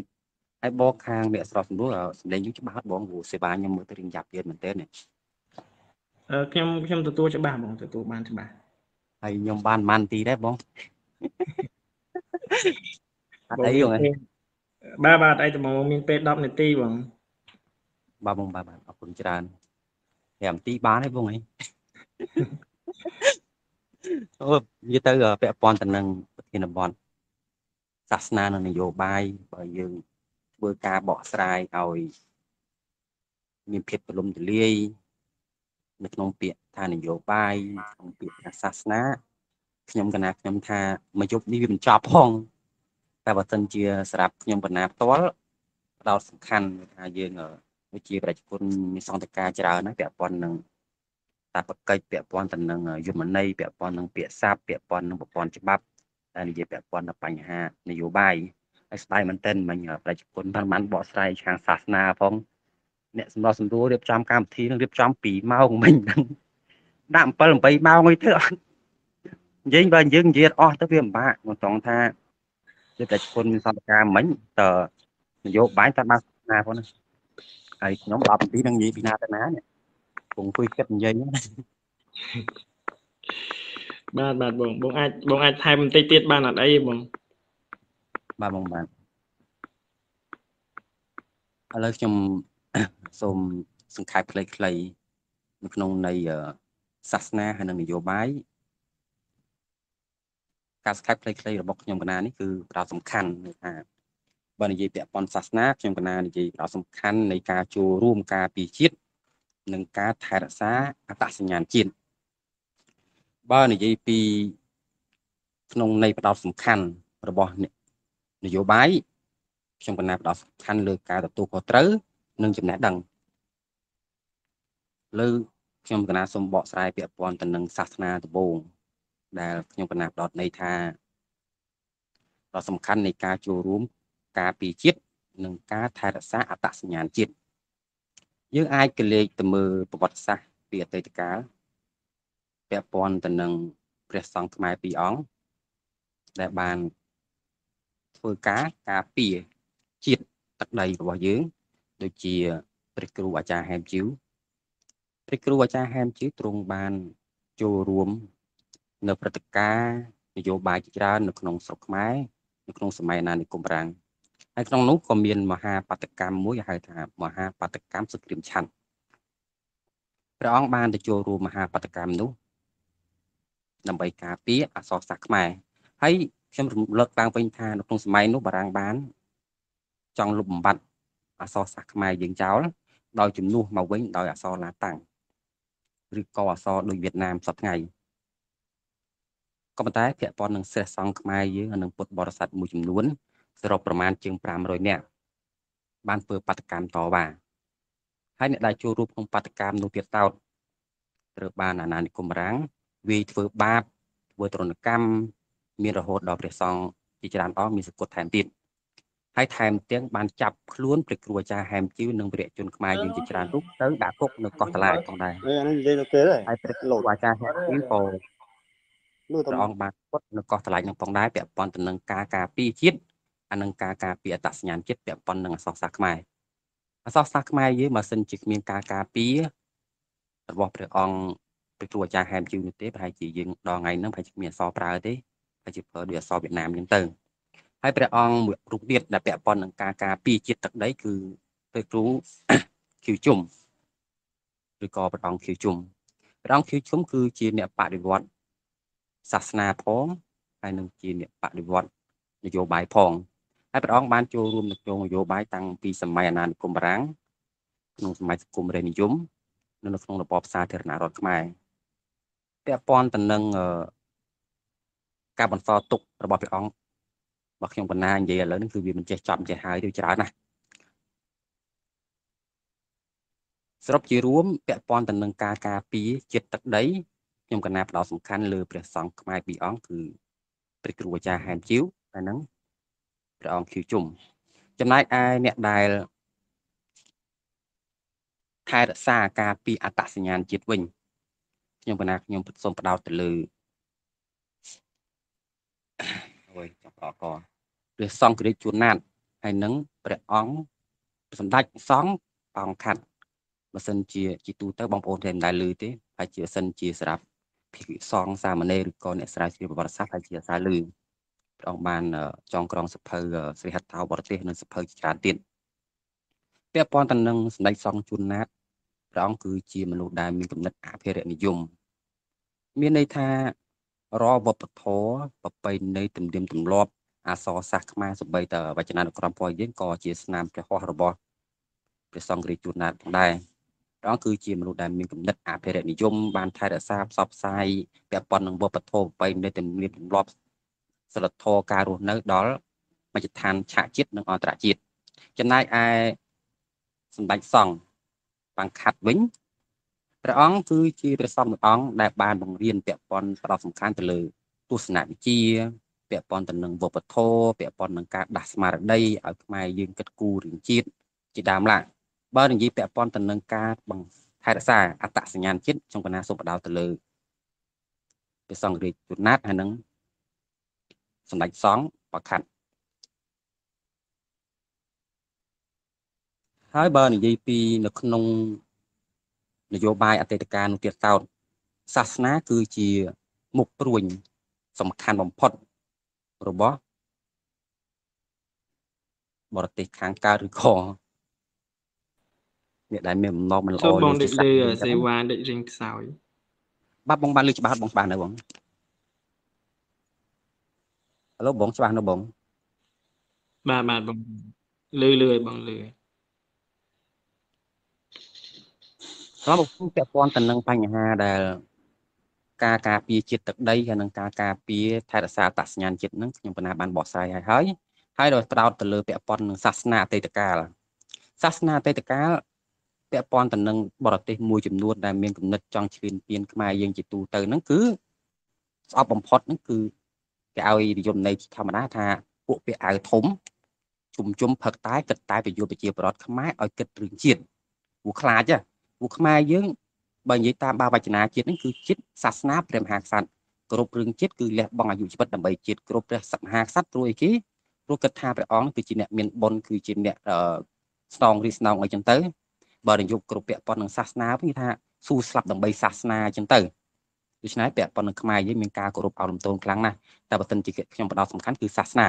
ដូច្នេះពាក់ព័ន្ធនឹងបរទេសខាងកើតនឹងគេអត់សប្បាយចិត្តនឹងពុទ្ធសាសនានោះទេអត់ចូលចិត្តពាក់ព័ន្ធនឹងបញ្ហាសាសនានោះទេឥឡូវយើងមើលបញ្ហាជាច្រើនពាក់ព័ន្ធទៅនឹងការបង្កើតខ្មែរយៈមិញបងប្អូនដែលសិក្សាពីប្រវត្តិសាស្ត្រក៏ជាដឹងហើយបង្កើតលោកសង្ឃយៈមិញផ្សេងផ្សេងបង្កើតយន្តរូបនីយកម្ម បើនិយាយពាក់ព័ន្ធយន្តរូបនីយកម្មក្នុងគណៈសូមបញ្យល់បន្ថែមថាការធ្វើឲ្យខ្មែរខ្លាយទៅជាវាវៀតណាមអញ្ចឹងណានឹងអញ្ចឹងវាធ្វើឲ្យខ្មែរយើងនឹងគឺហៅថាការលុបបំបាត់អត្តសញ្ញាណជាតិធ្វើឲ្យខ្មែរយើងអស់ទំនុកចិត្តលើសាសនាហ្នឹងគឺជាមុខសញ្ញាសំខាន់របស់ពួកគេនឹងហើយនឹងជាទូទៅពាក់ព័ន្ធនឹងការផ្ដោតសំខាន់ហើយវាតែងតែពាក់ព័ន្ធនឹងការបង្សាបអតិពលការបង្សាបអតិពលនោះទៀតសោតគឺមិននៅក្នុងស្រុកខ្មែរយើងមួយសំបីថៃក៏ដោយ ថៃប្រសងខ្មែរយើងណាមើលតែល្បីអីមួយចំនួនអញ្ចឹងណាគេបិទភ្លាមបើនិយាយពីកម្ពុជាក្រៅមុខសញ្ញាជាងខ្មែរកដាយើងទៀតព្រោះអីគេជាទូទៅសំបីតែរឿងពាក់ព័ន្ធប្រវត្តិសាស្ត្រអុកញ៉ាសឹងគុយបងប្អូនបានបានដឹងច្បាស់ហើយថាលោកសុកចិត្តឲ្យយន្តកាត់ក្បាលដើម្បីថែរក្សាសាសនាប្រពៃណីទំនៀមទម្លាប់ព្រោះមើលមើលឃើញថាមានតែសាសនាពុទ្ធធម៌ប្រពៃណីទំនៀមទម្លាប់នោះទេដែលអាចតំណាងឲ្យអត្តសញ្ញាណជាតិខ្មែរបាន ក្រៅពីនឹងគឺมันអាចថែរក្សាបានទេបើចាំដល់អ្នកបើអីគេវរៈជនខ្មែរអីហ្នឹងនឹងចាំមិនចាំដល់ពេលណាពេលនៅឆ្នេះមានការថែរក្សាអត្តសញ្ញាណជាតិមើលឃើញថាបើថ្ងៃក្រោយមាននយោបាយមានការផ្លាស់ប្ដូរយ៉ាងណាក្តីអានឹងចាំគិតតាមនឹងទៀតទៅហើយការទទួលសោកខ្មែរយើងនៅលើអង្គការសហជីវជាតិសោតសប្តាហ៍ថ្ងៃនេះក៏ដោយសារការអត្តសញ្ញាណហ្នឹងដែរដោយសារការថែរក្សាប្រពៃណីទំនៀមទម្លាប់សាសនាការរស់នៅវប្បធម៌ទូទៅនឹងឯងបានគេទទួលស្គាល់ខ្មែរក្រោមយើងនៅ អង្គការសហប្រជាជាតិដូច្នេះសរុបជារួមពាក់ព័ន្ធទៅនឹងសាសនាខ្ញុំបណ្ណាផ្ទាល់គឺចង់បញ្ជាក់ថាវាមានសារៈសំខាន់ណាស់ក្នុងការការពារជាតិហើយនឹងការបង្ហាញពីអត្តសញ្ញាណជាតិព្រោះទីវត្តអារាមបើនិយាយពីអតីតកាលណាបច្ចុប្បន្នហ្នឹងក៏មិនថាអាក្រក់ទាំងអស់ដែរដូចជាវត្តបូនៅខាងសៀមរាបដូចជាវត្តទឹកវិលអីចឹងទៅក៏គាត់បានថែរក្សាពាក់ព័ន្ធទៅនឹងចំណុចជាច្រើន ពាក់ព័ន្ធនឹងវប្បធម៌ពាក់ព័ន្ធនឹងប្រពៃណីនិលប់អីចឹងទៅតែវត្តខ្លះហ្នឹងក៏គាត់រៀងពិបាកអីចឹងទៅដោយសារអីគេដោយសារទទួលរោគសម្ពាធជាធម្មតាសាសនាសពថ្ងៃដូចបងប្រុសឬក៏ប្រជាជនមានសន្តិការខាងដើមចឹងគឺទទួលរងឥទ្ធិពលពីនយោបាយមានថាបើនយោបាយស្រុកទេសយើងអញ្ចឹងពេលខ្លះប្រសងក៏ខ្លាចដែរមិនខ្លាចមិនមនុស្សដូចជាយើងដែរហ្នឹងគឺមិនខ្លាចតែនិយាយច្រើនហ្នឹងរត់ចោលស្រុកតែនិយាយច្រើនហ្នឹងស្រួលមិនស្រួលហ្នឹងលេខបាននៅវត្តហ្នឹងលើហ្នឹងដូច្នេះមានការភ័យខ្លាចកំតែកំកណាសកសូមជំរុញ ឲ្យព្រះសង្ឃជាទូទៅចូលរួមតបកិច្ចក្នុងនាមជាប្រជាប្រដ្ឋក្នុងនាមជាបច្ចាប្រទេសដើម្បីដោះស្រាយបញ្ហាស្រុកទេសជាមួយគ្នាចឹងទៅឥឡូវខ្ញុំសូមចប់ពាក់ព័ន្ធទៅនឹងសាសនាពាក្យទី1ហើយដល់មកតទៅទៀតខ្ញុំកណាសូមបកស្រាយពាក់ព័ន្ធទៅនឹងនយោបាយម្ដងបើនិយាយពីនយោបាយសម្រាប់ខ្ញុំកណាផ្ទាល់គឺផ្ដោតសំខាន់លើការទទួលខុសត្រូវ អានឹងការសិក្សាឬក៏ចំណេះដឹងនឹងតែម្ដងព្រោះជាទូទៅបើយើងនិយាយនៅក្នុងរឿងអតីតកាលខ្មែរយើងយើងអាចក៏លើកឃើញថាមេដឹកនាំមួយណាក៏ដោយឲ្យតែគាត់ធ្វើខុសគាត់មិនដែលទទួលខុសត្រូវនឹងហ្មងគាត់ទទួលខុសត្រូវទេហើយបើប្រជាប្រដ្ឋខ្មែរយើងវិញគាត់មិនដែលទទួលខុសត្រូវអីទេគាត់គិតថាចាំអ្នកដឹកនាំទៅចាំអ្នកនេះចាំអ្នកនោះទៅគាត់គ្មានការទទួលខុសត្រូវរឿងប្រទេសជាតិគាត់ចឹងណាព្រោះអីគាត់គ្មានចំណេះដឹង ហើយអាមេរិកណងគ្មានការទទួលខុសត្រូវព្រោះអីគេគាត់គ្មានចំណេះដឹងនឹងឯងលើកខ្ញុំសូមលើកចំណុចខ្លះខ្លះពាក់ព័ន្ធនឹងទម្រង់នយោបាយដើម្បីបងប្អូនបានមូលដ្ឋានគ្រឹះក្នុងការសិក្សាពីនយោបាយទម្រង់នយោបាយខ្ញុំកណាថាមាន5យ៉ាងបើយើងគិតចាំងពីសម័យមុនឬសករាជក៏បុរេប្រវត្តិដល់បច្ចុប្បន្នភាពហ្នឹងគឺមាន5យ៉ាងគេហៅថាទី1នយោបាយសាសនានយោបាយសាសនាពាក់ព័ន្ធនឹងសម័យមុនហ្នឹងគឺជាមានអីទេ សំបីតែខ្មែរយើងសម័យអង្គរក៏បានទទួលឥទ្ធិពលសាសនាព្រាហ្មណ៍ដើម្បីបង្កើតជានយោបាយចឹងទៅពាក់ព័ន្ធនឹងការគោរពថាអឺអតិទេពនេះអតិទេពនោះដើម្បីពាក់ព័ន្ធនឹងការចងក្រងច្បាប់ការដឹកនាំប្រទេសហ្នឹងទៅហៅថានយោបាយសាសនាបន្ទាប់ពីនយោបាយសាសនាគេហៅថានយោបាយព្រះរាជាឬក៏នយោបាយស្ដេចហើយពាក់ព័ន្ធនឹងនយោបាយស្ដេចទៀតសោះសពថ្ងៃក៏នៅសល់ដែរប្រទេសមួយចំនួនដូចជាខ្មែរយើងថៃអីក៏មានដែរហៅថានយោបាយស្ដេចដាច់ទៅប្រងប្រទេសចឹងណានយោបាយស្ដេច បន្តមកទៀតគេហៅថានយោបាយប្រជាធិបតេយ្យនយោបាយប្រជាធិបតេយ្យបងប្អូនដឹងហើយថាលទ្ធិប្រជាធិបតេយ្យផ្ដោតលើអីហ្នឹងខ្ញុំក៏មិនបកស្រាយអីច្រើនដែរទី3ទី4ហ្នឹងគឺផ្ដោតលើនយោបាយកុម្មុយនីសឬក៏លទ្ធិកុម្មុយនីសបើនិយាយពីលប៉ុននឹងលទ្ធិកុម្មុយនីសផ្ដោតលើបកពាក់ព័ន្ធនឹងការអនុវត្តផែនការអីចឹងទៅនឹងពាក់ព័ន្ធនឹងកុម្មុយនីសហើយពាក់ព័ន្ធនឹងនយោបាយចំក្រោយចំណុចទី5ហ្នឹងគឺនយោបាយមនោគមវិជ្ជាបច្ចេកវិទ្យា សេដ្ឋកិច្ចយោធាហ្នឹងគឺសពថ្ងៃហ្នឹងហ្មងសពថ្ងៃហ្នឹងបើសិនជាយើងនិយាយឲ្យចំគឺសម័យមនោគមនយោបាយបច្ចេកវិទ្យាសេដ្ឋកិច្ចនិងយោធាវាលែងមានកុម្មុយនីសវាលែងមានប្រជាធិបតេយ្យវាមានស្ដេចវាលែងមានសាសនាហើយ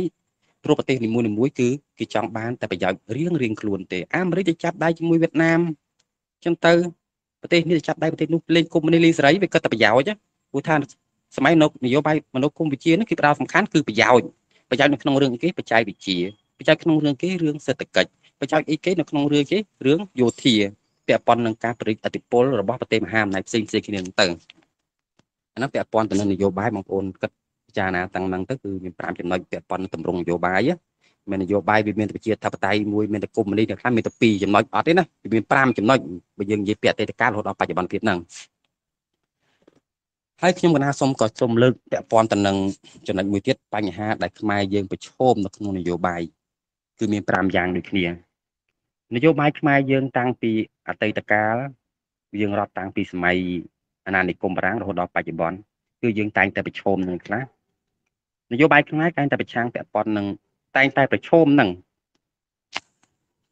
អធិបុលនយោបាយរបស់ប្រទេសមហាអំណាចឧទាហរណ៍ថានៅពេលមហាអំណាចគាត់ ដាក់អាណានិគមពីលើដូចស្មាអាណានិគមបារាំងយើងចប់អាណានិគមបារាំងទៅដល់សង្គ្រាមលោកលើកទី1លោកទី1ទៅអាលោកទី2លោកទី2ទៅសង្គ្រាមតិចសង្គ្រាមតិចទៅដល់សប្ងៃអាសង្គ្រាមបច្ចេកវិទ្យាសង្គ្រាមអីផ្សេងផ្សេងយើងក៏ទទួលរងឥទ្ធិពលទៅព្រោះឯប្រទេសយើងតូចទី1នោះគឺការប្រឈមនឹងឥទ្ធិពលរបស់ប្រទេសមហាអំណាចនិងប្រទេសជិតខាងចំណែកទី2ការប្រឈមរបស់ក្នុងនយោបាយហ្នឹងគឺប្រឈមនឹងការឈ្លានពាន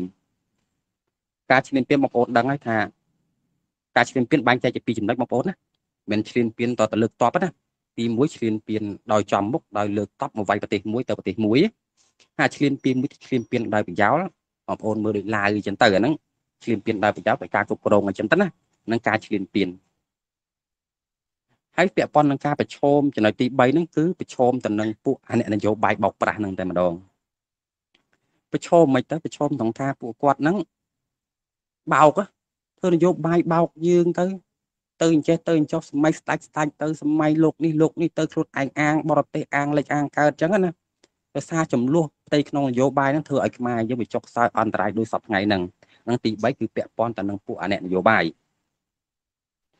ហើយទី4ហ្នឹងពាក់ព័ន្ធទៅនឹងប្រជាពលរដ្ឋខ្មែរយើងដែលចូលរួមនយោបាយ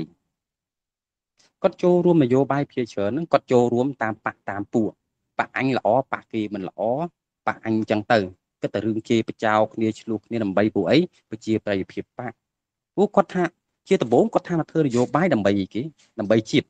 ដល់ពេលគាត់ចូលនយោបាយទៅគាត់មិនដើម្បីជាតិគាត់ដើម្បីបកគាត់ហ្នឹងទៅហៅសង្គ្រោះជាតិគាត់សង្គ្រោះជាតិទៅប្រជាធិបតេយ្យមូលដ្ឋានតាមប្រជាធិបតេយ្យមូលដ្ឋានទៅគណៈបកបំណងពលរដ្ឋតាមបំណងពលរដ្ឋទៅគាត់មិនមើលប្រយោជន៍ជាតិពេលខ្លះខ្ញុំសឹងទៅសួរគាត់ថាតើអ្នកឯងធ្វើនយោបាយដើម្បីបកក៏ដើម្បីជាតិនេះខ្ញុំដើម្បីជាតិប៉ុន្តែខ្ញុំ ដើរដោយបកអើដើរដើម្បីបកឥឡូវបកខុសបកត្រូវបកអីមែនមិនបែងចែកហេពេលខ្លះយើងអាងយើងការពារគ្នាយើងវាទៅជាអញ្ចឹងណាគាត់បាត់អប្រយោជន៍ជាតិនឹងបាត់ហ្នឹងពាក់ព័ន្ធទៅនឹងប្រជាប្រដ្ឋយើងចូលរួមនយោបាយគាត់មិនយល់ថាតបកិច្ចគាត់មកចូលរួមនយោបាយព្រោះអីគេហ្នឹងវានាំឲ្យអន្តរាយដល់ជាតិដូចគ្នាដូចខ្មែរយើងពីមុនរត់ចូលព្រៃរត់ចូលអីចឹងណានឹងរត់ចូលព្រៃទៅមិនអីទៅចុងក្រោយងាប់ជាង2លានអ្នកអញ្ចឹងចិត្តចូលរួមទៅហើយមួយទៀតទី5ហ្នឹងគឺអាត្មានិយមអាត្មានិយមបងប្អូនដឹងហើយច្រើនណា រតនាអស់ទេទាំងពុទ្ធសាសនាទាំងពុទ្ធចក្រទាំងអាណាចក្រហ្នឹងបើសិនជាគាត់គិតរឿងជាតិហ្នឹងគឺប្រទេសប្រទេសយើងមិនអញ្ចឹងទេហើយម៉ោងហ្នឹងក៏ខ្ញុំមិនបាត់បាត់មកនិយាយដែរព្រោះប្រទេសជឿនលឿនមានអីយើងបើសិនជាប្រទេសជឿនលឿនយើងស្មោះស្មៅហ្នឹងហើយជាកម្មវិធីទៅអង្គុយអាងសាច់អាងអីចឹងណាហើយចំណុចចុងក្រោយគឺទី5គឺអាត្មានិយមហ្នឹងមកអាត្មានិយមរឿងអីខ្លះអាត្មានិយមគិតតែរឿងគាត់គាត់អត់ខ្វល់ខ្វាយអាណាងាប់អីងាប់ទៅ ទៅដល់ពេលខ្លះគាត់និយាយថាអាក្តរណាដូចអាក្តរណាអាឆ្កែណាដូចអាឆ្កែណាអញ្ចឹងណាគាត់អត់ខ្វល់មកគាត់មិនចូលរួមចំណែកមកដូច្នេះហើយត្រឡប់មកវិញបន្តិចនិយាយក៏ច្រើនហើយវាមិនដកមីក្រូហ្វូនបានហើយខ្ញុំសូមបន្តមួយចំនួនទៀតហេបងសុំ5នាទីទៀតមកបងមកទីមីក្រូមីក្រូអេបានបាន5នាទីទៀតទេអត់យូរទេ ឥឡូវខ្ញុំសូមបន្តពាក់ព័ន្ធទៅនឹងការសិក្សាពីនយោបាយអតីតកាលហើយនិងការសិក្សាពីនយោបាយបច្ចុប្បន្នភាពការសិក្សាពីនយោបាយអតីតកាលនិងការសិក្សាពីនយោបាយបច្ចុប្បន្នភាពទៀតសោតបើយើងសិក្សាពីប្រវត្តិសាស្ត្រយើងមិនសិក្សាពីវៀតណាមទៅមុខទេណាយើងមិនសិក្សាទៅចិនទៅមុខទេណាសហភាពសូវៀតទៅមុខទេសិក្សាទៅពីអាមេរិកមុខទេណា យើងសិក្សាក្នុងប្រវត្តិសាស្ត្រផ្ដោតលើគោលការណ៍4យ៉ាង ទី1សិក្សាពីនយោបាយអន្តរជាតិទី2សិក្សាពីនយោបាយជាតិទី3សិក្សាពីសេដ្ឋកិច្ចជាតិទី4សិក្សាពីកម្លាំងយោធាជាតិនៅក្នុងរបបនីមួយៗនៅក្នុងប្រវត្តិសាស្ត្របងប្អូនបដោតតែប៉ុណ្្នឹងទៅហើយបងប្អូនសិក្សាលម្អិតបើយើងគាត់តករឿងយន្តរឿងចិនរឿងអីហ្នឹងវាមិនតាណាទេហើយពេលគេសួរទៅ ចុះកម្លាំងយោធានៅក្នុងរបបសាធារណរដ្ឋខ្មែរមានចំនួនប្រមាណអត់ដឹងចុះពាក់ព័ន្ធនឹងនយោបាយអន្តរជាតិនៅក្នុងអំឡុងពេលហ្នឹងវាមិនដែរអត់ដឹងចុះនយោបាយយើងជាតិយើងវាមិនដែរអត់ដឹងសេដ្ឋកិច្ចជាតិយើងនៅពេលហ្នឹងមិនដែរអត់ដឹងថាអីក៏អត់ដឹងដែរព្រោះអីគេព្រោះគាត់សិក្សាតែឬកំណត់គុំគួនកំណត់ចិត្តនិយមគាត់សិក្សាលក្ខណៈស៊ីជម្រៅហាសភៅអត់នឹងអនបាក់ទេទិញសភៅវ៉ាន់ឌីក៏អត់ប្រហែលក្បាលភាគ1ភាគ2អានទៅបើគ្មានទេនោះសភៅលោកប៊ុនច័ន្ទមុលសភៅអីផ្សេងផ្សេងនៅតាមបណ្ណាគាមិនទៅខ្វះទេ ចំណាយអស់ច្រើននោះ30 40រៀលទេទិញអានទៅគាត់បានតំណែងអស់ហើយថាស្អីអីពិតប្រកបហើយពាក់ព័ន្ធនឹងនយោបាយបច្ចុប្បន្នភាពពេញចឹងដែរយើងមិនសិក្សាតែមួយផ្នែកមួយណាសិក្សាពីគេពីសេដ្ឋកិច្ចពីនយោបាយពីយោធាពាក់ព័ន្ធនឹងតំណែងតំណងការទូតពាក់ព័ន្ធនឹងប្រព័ន្ធច្បាប់ទូទៅនឹងគឺយើងត្រូវសិក្សាមិនសិក្សាពីនយោបាយអញចេះអស់ហើយណាតែចេះអស់ហើយចប់ហើយមានគ្រូបាអាចារ្យណាបដៅបានទេសិក្សាទៅគុំតែពេលឡើងទុកមូលជាមួយគេទៅនឹងធ្វើលេលើលេលើលេលើ អត់ចេះអីតែគេសួរទៅខ្ញុំអត់ដឹងដែរខ្ញុំអត់ដឹងដែរនិយាយតាមយើងនិយាយអាទី1អានិយាយតាមសភៅថារៀនមាន2រៀនទី1រៀនស្ដាប់គេនិយាយអានោះខែមានខុសទេទី2ណារៀនមានសភៅរៀនមានសាលាបើយើងរៀនតាមតែស្ដាប់គេរៀនតែតាមសភៅប្រមាណក្បាលហ្នឹងចាំបាច់បើកសាលាទៅអីគេទៅបើកសាលាទៅអីនោះសាលានយោបាយសាលាទស្សនវិជ្ជាសាលាសេដ្ឋកិច្ចសាលាច្បាប់ទៅអីបើនិយាយទៅអាសភៅប្រមាណក្បាលបានដែរដែរហ្នឹង ដូច្នេះហើយយើងការយើងសិក្សាបើយើងបានអីក៏យើងស្ដាប់ឲ្យបានតនន័យច្រើនទៅយើងវាមានតនន័យច្រើនពាក់ព័ន្ធនឹងនយោបាយអតីតកាលនិងនយោបាយបច្ចុប្បន្នហ្នឹងហើយស្របជារួមផ្ដោតទៅលើបញ្ហានយោបាយខ្ញុំកណាឲ្យគោលមកថាជាការទទួលខុសត្រូវហើយនឹងចំណេះដឹងបើអ្នកនយោបាយធ្វើនយោបាយប្រជាប្រដ្ឋខ្មែរយើងធ្វើនយោបាយចូលរួមនយោបាយគ្មានការទទួលខុសត្រូវទេណា គុំទៅចូលរួមនយោបាយអីវានាំទៅអន្តរាយដល់ជាតិទេហើយបើមើលឃើញថាទាំងអ្នកនយោបាយនិងប្រជាប្រដ្ឋខ្មែរថាអញវានៅល្ងងទេណាស្ដាប់គេសិនទៅចាំទៅចូលរួមអត់យឺតពេលដែរវាធ្វើលីលីយូរហើយស្ដាប់សិនទៅវាអត់តលីតាណាទេខ្ញុំលឺថាលីនឹងលីតាំងពីសម័យហ៊ុនសិពេចខ្ញុំចូលរួមតាំងហ៊ុនសិពេចឆ្នាំ2009គិតមកឥឡូវគឺពី10ឆ្នាំម្នាក់3 10ឆ្នាំមកវាមិនតាណាទេរៀនសិនសពពេលវេលាណារៀនផងផងទៅគុំអាកំណត់គុំយួន គុំចិនគុំអាមេរិកគុំអីខ្លាំងពេកបើយើងមិនចេះពិតប្រកបគេមិនយកតាណាទេណាទៅយកធ្វើអោសទៅយកនឹងចូលធ្វើម៉េចបើសិនតែខ្មោចយើងហ្នឹងវាមានតម្លាញអោសយើងគួរតែកំណត់របស់យើងថាកំណត់របស់យើងរស់ហ្នឹងវាមានអត្ថប្រយោជន៍អីដល់ប្រជាជាតិអាកំណត់យើងជាតិនិយមហ្នឹងខ្ញុំហាមគាត់ទេបងប្អូនវាមានកំណត់ជាតិនិយមចេះចូលរួមនយោបាយនឹងវាល្អហើយតែបើយើងវាគ្មានការទទួលខុសត្រូវយើងគ្មានចំណេះដឹងទេអាលាយលើហើយដូចសម័យលោកសំស៊ីដូចសម័យ គណៈបកនេះកបកបកនោះចឹងទៅបោកប្រាស់គេចឹងទៅទទួលខុសត្រូវអត់អត់គាត់ត្រូវរហូតត្រូវមិនគាត់បានជាអ្នកគាត់គាត់ថាគាត់ជាអ្នកដោះស្រាយគាត់ចំណាយពេលវេលាកម្លាំងកាយចិត្តដើម្បីនយោបាយហើយគាត់ធ្វើនឹងគាត់ខុសទៀតដែរហើយជាឆន្ទៈរបស់អ្នកឯងតើជាអត្តមតិរបស់អ្នកឯងតើចូលរួមនឹងទៅងាប់ជាមួយគ្នានោះទៅចាប់គុកជាមួយគ្នានោះចុងក្រោយគាត់ខុសគាត់គិតថាមិនអត់គាត់ខុសទេយូរដូចខ្លួនរហូតតែយើងទៅជាមួយគាត់ហ្នឹងគុកច្បាក់រត់ចោលស្រុកអញ្ចឹងទៅប្រពន្ធកូនខ្ចីអញ្ចឹងទៅ ណាណាមើលណាមើលដូច្នេះបើយើងមានចំណេះដឹងយើងចេះមើលនយោបាយបើយើងមានការទទួលខុសត្រូវក្នុងនាមជាប្រជាប្រដ្ឋម្នាក់មានការទទួលខុសត្រូវក្នុងបញ្ហារឿងជាតិមានការទទួលខុសត្រូវរកកំហុសដែលខ្លួនឯងបានធ្វើបូករួមនឹងចំណេះដឹងយើងផងយើងអាចដោះស្រាយបញ្ហាជាតិយើងនឹងបានហើយហើយលើខ្ញុំសរុបជារួមជាចុងក្រោយសាសនាជាការចូលរួមការពារនិងជាអ្នកថែអត្តសញ្ញាណជាតិ តែធ្វើឲ្យយើងខ្មែរយើងនេះវាស្គាល់ខ្លួនឯងថាអញនឹងវាមានកំណត់មកពីណាពីណាអញ្ចឹងណាព្រោះបើយើងមិនស្គាល់ពីអត្តសញ្ញាណជាតិយើងផងហើយយើងអូអីគេហ្នឹងហើយកាន់តញ្ញាណមិនគេរាល់ថ្ងៃហ្នឹងអាហ្នឹងទី1បើគ្មានសាសនាខ្មែរយើងវល់ហើយម្ដងថ្ងៃហ្នឹងថែមទាំងខ្លួនឯងណាគេផងកុំភ្លេចគុណរឿងសាសនាហ្នឹងណាគួរដឹងណាគ្មានសាសនាទេគ្មានអសរប្រើគ្មានពុទ្ធធម៌គ្មានប្រពៃណីមានទម្លាប់អីទាំងអស់រាល់ថ្ងៃហ្នឹងគ្មានស្គាល់តែខ្មែរទេរាល់ថ្ងៃនេះវល់បែកម៉ាំហើយបើនិយាយពាក់ព័ន្ធទៅនឹង នយោបាយវិញ គឺជាការទទួលខុសត្រូវហើយនឹងចំណេះដឹង ធ្វើឲ្យយើងស្គាល់មុខមិត្តហើយនឹងមុខសត្រូវបើយើងសំដាយើងមានការទទួលខុសត្រូវផងហើយយើងមានចំណេះដឹងផងយើងស្គាល់មុខមិត្តអាអ្នកនយោបាយណាត្រឹមត្រូវសត្រូវអីគេសត្រូវរបស់យើងបែរយើងមានចំណេះដឹងទូទៅទៅយើងដឹងសត្រូវយើងមួយណាមួយណាប៉ັດប្រកបអញ្ចឹងណាបើយើងអត់មានចំណេះដឹងក៏ចាប់ដែរហើយបើយើងមិនស្គាល់មុខមិត្តជួនកាលយើងទៅចូលរួមមួយគណៈបកគេអូសយើងចាប់គុកបាត់គិតមិនអាណាមើលឃើញ យើងមើលសើមើលមិនឃើញណាបើយើងមិនស្គាល់មុខមិត្តមិនស្គាល់មុខសត្រូវទេណាដូច្នេះអាការចូលរួមនយោបាយគឺជាការទទួលត្រូវផ្អែកលើចំណេះដឹងអាហ្នឹងចំណេះដឹងហើយខ្ញុំចង់មកបន្ថែមតិចទៀតបើសិនជាបងប្អូនណាថាយើងស្គាល់ខ្លួនឯងយើងស្គាល់តាមរយៈសាសនាយើងស្គាល់មុខមិត្តស្គាល់មុខសត្រូវតាមរយៈការចូលរួមនយោបាយក្នុងការទទួលខុសត្រូវនិងចំណេះដឹង ទោះតាមយើងស្គាល់ខ្លួនឯងផងស្គាល់មុខមិត្តស្គាល់មុខសត្រូវផងរឿងអីយើងដោះស្រាយបញ្ហាប្រទេសជាតិយើងវាមិនចេញចម្លើយដោះស្រាយដល់ចេញហ្នឹងរឿងអីថាដោះស្រាយមិនចេញនោះទេតែសំខាន់ក្នុងថាតើយើងមានគោលអស់ហ្នឹងនៅយើងដឹងរឿងអស់ហ្នឹងនៅជួនកាលបងប្អូនផ្សេងផ្សេងខ្ញុំឃើញចោះឈ្មោះមកខ្ញុំចូលទៅមើលនេះវាប្រហែលអ្នកហ្នឹងដូចជាប្រហែលអ្នកដូចគ្នាគ្មានអីច្រើនអ្នកប៉ុណ្ណាខ្ញុំស្មានតែច្រើនណាស់ពី200អ្នកដល់ពេលអ្នកចូលរួមស្ដាប់ដូច500អ្នកផងអូខេឥឡូវខ្ញុំសូមអឺ អរគុណនៅ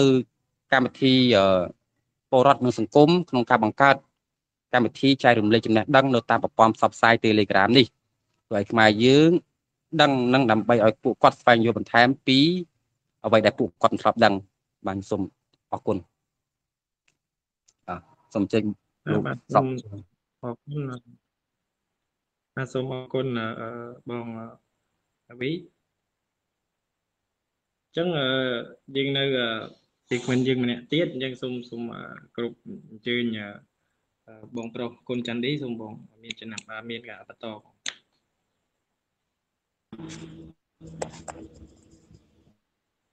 សូមគោរពដល់ប្រសងគ្រប់អង្គដែលនៅក្នុងក្រុមនឹងម្ដងទៀតហើយនឹងគោរពដល់បងប្អូនទាំងអស់ដែលបានចូលរួមហ្នឹងមើលទៅចំនួនដូចជានៅសល់120ទេនិយាយបរោះពេកទៅចេញទៅដេកអស់ហើយ ខ្ញុំអត់មានអីបន្ថែមទេដោយសារតែនាយកុយនាយក្រឹមលេងកំ pl 3អ្នកឡើងនិយាយអស់ហើយចឹងដល់តែខ្ញុំនិយាយចុងក្រោយហ្នឹងបន្ថែមសរុបសេចក្តីតាក់ទងទៅនឹងខ្លឹមសារហ្នឹងបកស្រាយឲ្យអស់ហើយដោយគុណព្រះអង្គបានបកស្រាយហើយតាក់ទងទៅខ្លឹមសារនយោបាយនិងសាសនាហើយបន្ទាប់មកហើយលោកហុកណាវីនោះក៏បានបកស្រាយបន្ថែមបន្ថែមនេះគឺនយោបាយគឺជាការទទួលខុសត្រូវនិងចំណេះដឹងសាសនាគឺជាការថែរក្សានិងការពារណា ខ្ញុំអត់មានអីទេខ្ញុំសរុបសេចក្តីតាក់ទងទៅនឹងអឺប្រសាសន៍របស់លោកហុកណាវីហើយនឹងអឺសង្ឃលេខារបស់អឺដេចគុណរឹមចន្ទរាដែលព្រះអង្គបានមានសង្ឃលេខាហើយហ្នឹងខ្ញុំគាត់តែសរុបថាខ្លឹមសារនៃនៃនយោបាយនិងខ្លឹមសារនៃសាសនានោះវាមិនខុសទេ វាត្រូវទាំងអស់ហើយណាតែខ្ញុំលើកជាចំណុចចំណុចមកដើម្បីយកមកធ្វើការវេកញែកតាក់ទងទៅនឹងបន្ថែមបន្ថែម បន្ថែមវាបន្ទាប់ពីលោកហុកនវីបានមានប្រសាសន៍ហ្នឹងចំពោះការទទួលខុសត្រូវរបស់ខ្មែរយើងបើយើងនិយាយទៅខ្មែរយើងសពថ្ងៃយើងនិយាយត្រង់ត្រង់ខ្មែរយើងសពថ្ងៃមេដឹកនាំយើងនឹងយកពួកបរទេសធ្វើជាចំណាប់ខ្មាំងអាហ្នឹងនិយាយពីការទទួលខុសត្រូវណាឆ្នាំ1997មុននឹងពលពតគាត់ស្លាប់មួយឆ្នាំខ្ញុំបានទៅជួបគាត់តាមច្រកអរិញ ខេត្តត្រាតប្រទេសថៃតម្រាំចូលទៅបានប្រហែលជាខ្ទង់ចិត្តមួយអាទិត្យគាត់គេចាប់ឃុំទៅជួបគាត់ចឹងសួរគាត់តាក់ទងទៅនឹងការស្លាប់របស់ប្រជាពលរដ្ឋយើងចំនួន2 3លានអ្នកហ្នឹងឲ្យគាត់ឆ្លើយថាអត់ដឹងអាហ្នឹងតាក់ទងទៅនឹងរឿងការទទួលខុសត្រូវហ្នឹងជាធំរួចហើយគាត់និយាយដាក់បន្ទុកថាការសម្លាប់របស់អាដែលមនុស្ស2 3លានអ្នកក្នុងរបបដែលគាត់កាន់អំណាចនោះវាមានបរទេសនៅក្រោយខ្នងទីចង់ទៅសួរគាត់ថាចង់សួរគាត់ត្រង់ត្រង់មកថាឲ្យចុះពេលនោះទៅនៅឯណា ហ៎ទៅពួននៅកហែងណាធ្វើមេដឹកនាំអាហ្នឹងអាហ្នឹងវាបាត់ការទទួលខុសត្រូវហួយតែបាត់ការទទួលខុសត្រូវឲ្យធ្វើនយោបាយដឹងតែបរាជ័យហើយហ្នឹងចូលចិត្តយកបរទេសយកមកធ្វើជាចំណាប់ខ្មាំងក្បួខ្មែរយើងសប្ងៃហ្នឹងអ្នកធ្វើនយោបាយហ្នឹងគឺមានចំណុចខ្សោយរបស់ខ្លួនឯងហើយខ្លួនឯងអត់ទទួលស្គាល់ខ្លួនឯងមានចំណុចខ្សោយទេគឺខ្លួនឯងដឹងចំណុចខ្លាំងរបស់ខ្លួនឯងនៅក្នុងចំណុចមួយអញបើសិនជាដោះបន្ទុកដាក់បន្ទុកលើអញអញត្រូវដោះបន្ទុករបៀបម៉េច ដឹងតែខ្មែរមានកំណត់ជាតិនិយមស្អប់សៀមស្អប់យួននៅក្នុងអតីតកាលសៀមយួនជាចិត្តសាសមួយដែលទន្ទ្រានយើងចូលក្នុងប្រវត្តិសាស្ត្រយើងអានអ្នកណាក៏ដឹងដែរដឹងតែសៀមចូលមកគ្រប់គ្រងយើងរបៀបម៉េចយើងបាត់អនិស្សរភាពដោយសារតែសៀមរបៀបម៉េចហើយយើងត្រូវយួនគ្រប់គ្រងយើងពីឆ្នាំណាឆ្នាំណាអ្នកអានប្រវត្តិសាស្ត្រដឹងទាំងអស់ដូចនេះហើយអ្នកនយោបាយដឹងអំពីផ្លូវនៃការដោះស្រាយឲ្យខ្លួនរួចខ្លួនហ្នឹងអញ្ចឹងចាប់យកមក ពេលដែលខ្លួនដឹកនាំឬក៏ខ្លួនកាន់អំណាចហ្នឹងខ្លួនអត់បានទទួលខុសត្រូវចំពោះកិច្ចការដែលខ្លួនធ្វើទេដល់ទៅពេលមានអីខុសហ្នឹងគឺឆ្លើយទៅលើបរទេសហើយខ្ញុំមិនដឹងទេអារឿងហ្នឹងត្រូវបានយួនវាប្រកបអនុក្នុងចូលមកសម្រាប់ខ្ញុំមិនដឹងទេអារឿងហ្នឹងត្រូវបានសៀមវាប្រកបអនុក្នុងវាចូលសម្រាប់អាហ្នឹងយើងយើងនិយាយពីតតភាពពិតរបស់សង្គមមួយមួយដែលយើងបានសិក្សាអំពីប្រវត្តិសាស្ត្រសម័យលងវែកអត់ ទទួលស្គាល់ថាខ្លួនឯងនឹងធ្វើនយោបាយខុសទេដាក់បន្ទុកទៅលើការបាច់ប្រាក់ដួងចូលក្នុងគុំអាស័យរួចហើយគេកាប់យកគុំអាស័យនឹងលាយស្អីស្អីចឹងទៅហើយក៏អាលាយលងវែកចឹងទៅដល់ពេលអាសម័យនេះអត់មានការទទួលខុសត្រូវទៀតអា3ឆ្នាំ8ខែ20ថ្ងៃហ្នឹងអាខ្លួនធ្វើនយោបាយខុសហើយការដឹកនាំរបស់ខ្លួនខុសហ្នឹងទៅដាក់បន្ទុកទៅលើតែបរទេសហ្នឹងខ្ញុំចង់សួរទៅពួកគាត់វិញសួរថាតើទៅនៅកហែងណាហ្នឹងបើមិនសួរវាអត់កើតប្រធានអមជុំវិញអាហ្នឹង ការទទួលខុសត្រូវនោះគឺធំបំផុតសម្រាប់អ្នកនយោបាយហើយខ្មែរយើងសប្ថ្ងៃហ្នឹងគេបន្តគេបន្តតាមគ្នាណាខ្ញុំនិយាយក៏មិនចង់ដាក់បន្ទុកទៅលើប្រជាពលរដ្ឋខ្មែរតែស្ដាប់ហើយមានការគិតថាខ្មែរចូលចិត្តបន្តតាមគ្នាណាឲ្យតែមានដឹកនាំណាមួយដែលមានកំណត់ជាតិនិយមហ្នឹងទោះបីតែនឹងធ្វើខុសមិនក៏ដោយក៏គេលើកបុគ្គលនឹងឲ្យទៅជាស្នេហាជាតិដែរសប្ថ្ងៃនៅតាម Facebook តាមបណ្ដាញសង្គមគេទៅសេទៅគេថាពលពតជាអ្នកស្នេហាជាតិពូប្រឆាំងនឹងវៀតណាមហឹមវាអញ្ចឹង ឲ្យតែបុគ្គលណាក៏ដោយឡើងមកប្រឆាំងជាមួយបរទេសហ្នឹងគឺនៅនឹងស្នេហាជាតិអត់បានមើលឃើញពីកំហុសរបស់បុគ្គលនោះអត់បានមើលអំពីការទទួលខុសត្រូវរបស់គាត់នៅក្នុងនោះអ្វីមិនងាប់មនុស្សរាប់លានអ្នករួចហើយគាត់ទៅជាជនស្នេហាជាតិអានឹងមួយជារឿងផ្ទៃក្នុងដែលយើងបាញ់និយាយទេប៉ុន្តែយើងដឹងថាអានឹងគឺអញ្ចឹងមួយទៀតចំណេះដឹងតាក់ទងទៅនឹងចំណេះដឹងអ្នកខ្លះចេះហើយឡើងមកដឹកប្រទេសជាតិហ្នឹងក៏វាអន្តរាយដែរដោយសារអីគ្មានយុទ្ធវិធីនៃការដឹកនាំឥឡូវយើងចូលព្រោះទោះដោយសារយើងមានពេលខ្លី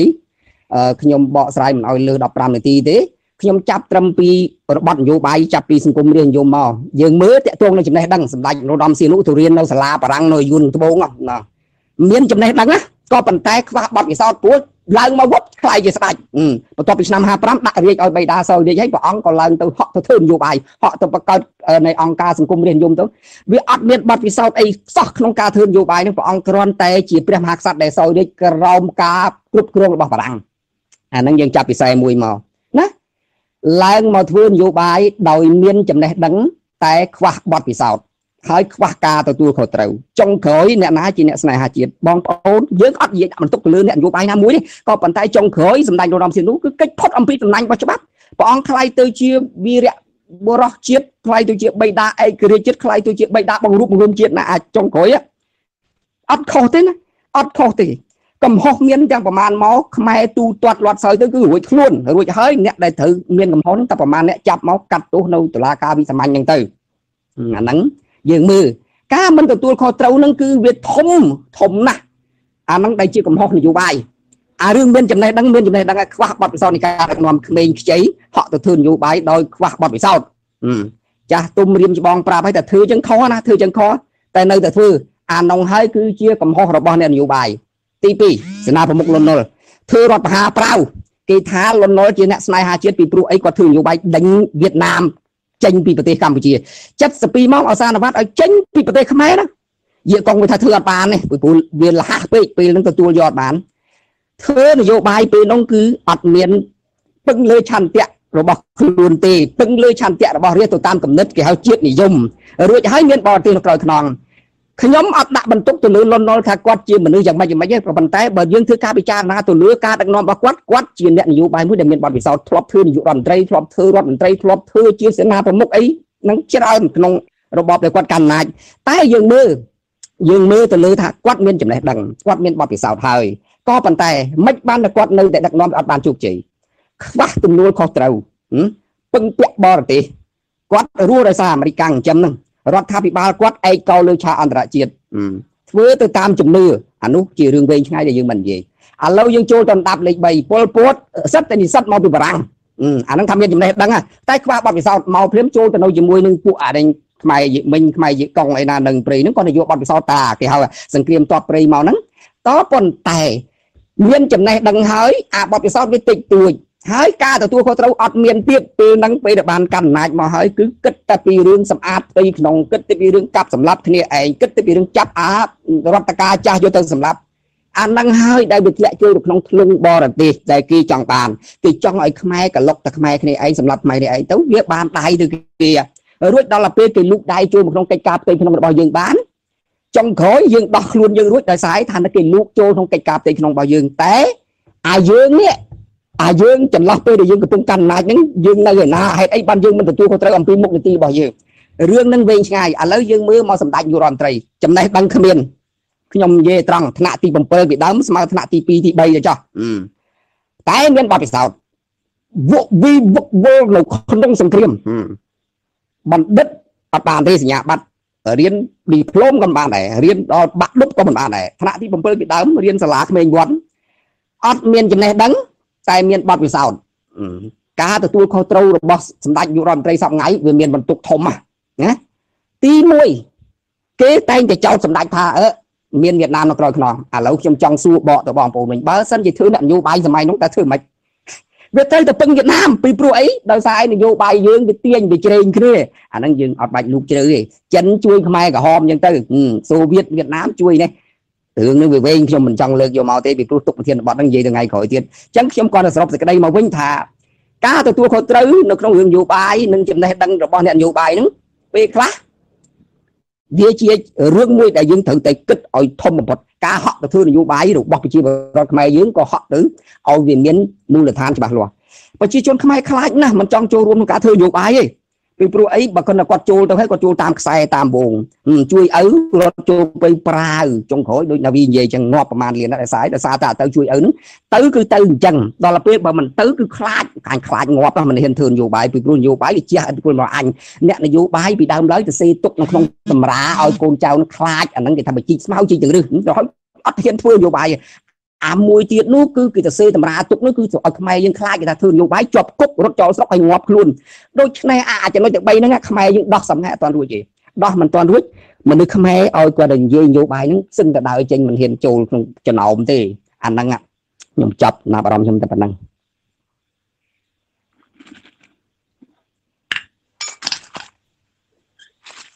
បាទបាទសូមបងអឺកម្មវិធីទៅឲ្យអរគុណ គោលកម្មវិធីឲ្យខាងចាក់ស្រាប់អរគុណបាទបាទបាទបាទសូមអរគុណដល់ដល់វាគ្មិនយើងទាំង3ដែលបានបកស្រាយអំពីធានបទយើងពីសាសនានិងនយោបាយហើយ សូមខន្តីអភ័យទោសផងដែរចំពោះការអានអួរសេវាឬក៏វាអានអួរបន្តិចបន្តួចនៅក្នុងសេវាយើងអត់សូវដែរឬជួនកាលឡានអួរបន្តិចបន្តួចអញ្ចឹងកម្មវិធីបន្ទាប់សូមទៅដល់វគ្គការឆ្លើយសំណួរផ្សេងផ្សេងមានសំណួរដែលសួរអញ្ចឹងសូមបកគលកម្មវិធីនេះទៅបងបងប្រុសកុសលបង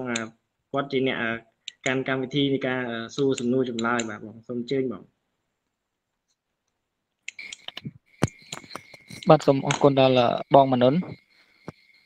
ជាដំបូងខ្ញុំកណាសូមក្រាបថ្វាយបង្គំគុណម្ចាស់គ្រប់ព្រះអង្គជំរាបសួរដល់វាគ្មិនទាំង3បងប្អូនដែលមានវត្តមាននៅក្នុងកម្មវិធីនារាត្រីនេះ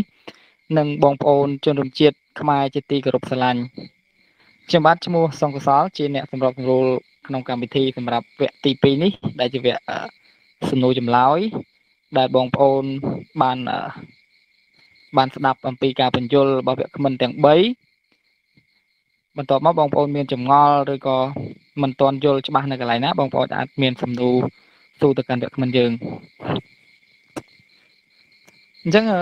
ជាកិច្ចបន្ទាប់នេះខ្ញុំសូមសរុបបន្តិចមុននឹងចូលទៅដល់សំណួរមួយចំនួនដែលខ្ញុំនឹងថ្វាយប្រគេនជូនដេចគុណក៏ដូចជាស្នើទៅបងវគ្គមិនទាំងពីរដើម្បីឆ្លើយនៅសំណួររបស់បងប្អូនយើងដែលគាត់មានចម្ងល់អញ្ចឹង អឺសម្រាប់ប្រធានបទយើង នៅក្នុងយប់នេះឃើញថាវគ្គមិនទាំង3អង្គនេះបានបកស្រាយពន្យល់យ៉ាងក្បោះក្បាយមែនតើប៉ុន្តែខ្ញុំជឿជាក់ថានឹងមានបងប្អូនមួយចំនួនក៏គាត់នៅតែមានចម្ងល់ហើយមានសំណួរចង់សួរបញ្ជាក់បន្ថែមអត្តន័យដោយសារតែបងប្អូនខ្លះគាត់មិនទាន់យល់ច្បាស់អំពីសំណួរអីផ្សេងៗចឹងទៅអញ្ចឹងជាកិច្ចបន្ទាប់នេះដោយសារតែមានបងប្អូនយើងគាត់អឺ សួរសំណួរមកច្រើនអញ្ចឹងហើយដោយសារតែពេលវេលាយើងក៏មានកំណត់ដែរអញ្ចឹងខ្ញុំសូមលើជ្រើសរើសសំណួរមួយចំនួនដែលពាក់ព័ន្ធនឹងប្រធានបទពាក់ព័ន្ធនឹងខ្លឹមសារពាក់ព័ន្ធនឹងអត្តន័យនៃប្រធានបទនៅក្នុងយប់នេះលើកយកមកសួរហើយសម្រាប់សំណួរដែលនៅសល់ដែលយើងមិនទាន់បានលើកយកមកនៅថ្ងៃនេះគឺយើងនឹងអាចយកទៅឆ្លើយនៅកម្មវិធីបន្ទាប់នៅថ្ងៃក្រោយបន្តទៀត អញ្ចឹងសម្រាប់សំណួរដំបូងដែលខ្ញុំនឹងប្រកេនជូនទៅដល់ដេចគុណរឹមចន្ទរា បាទសំណួរអំពីបងប្រុសឈ្មោះចាំតិចចាំតិចពីបងប្រុស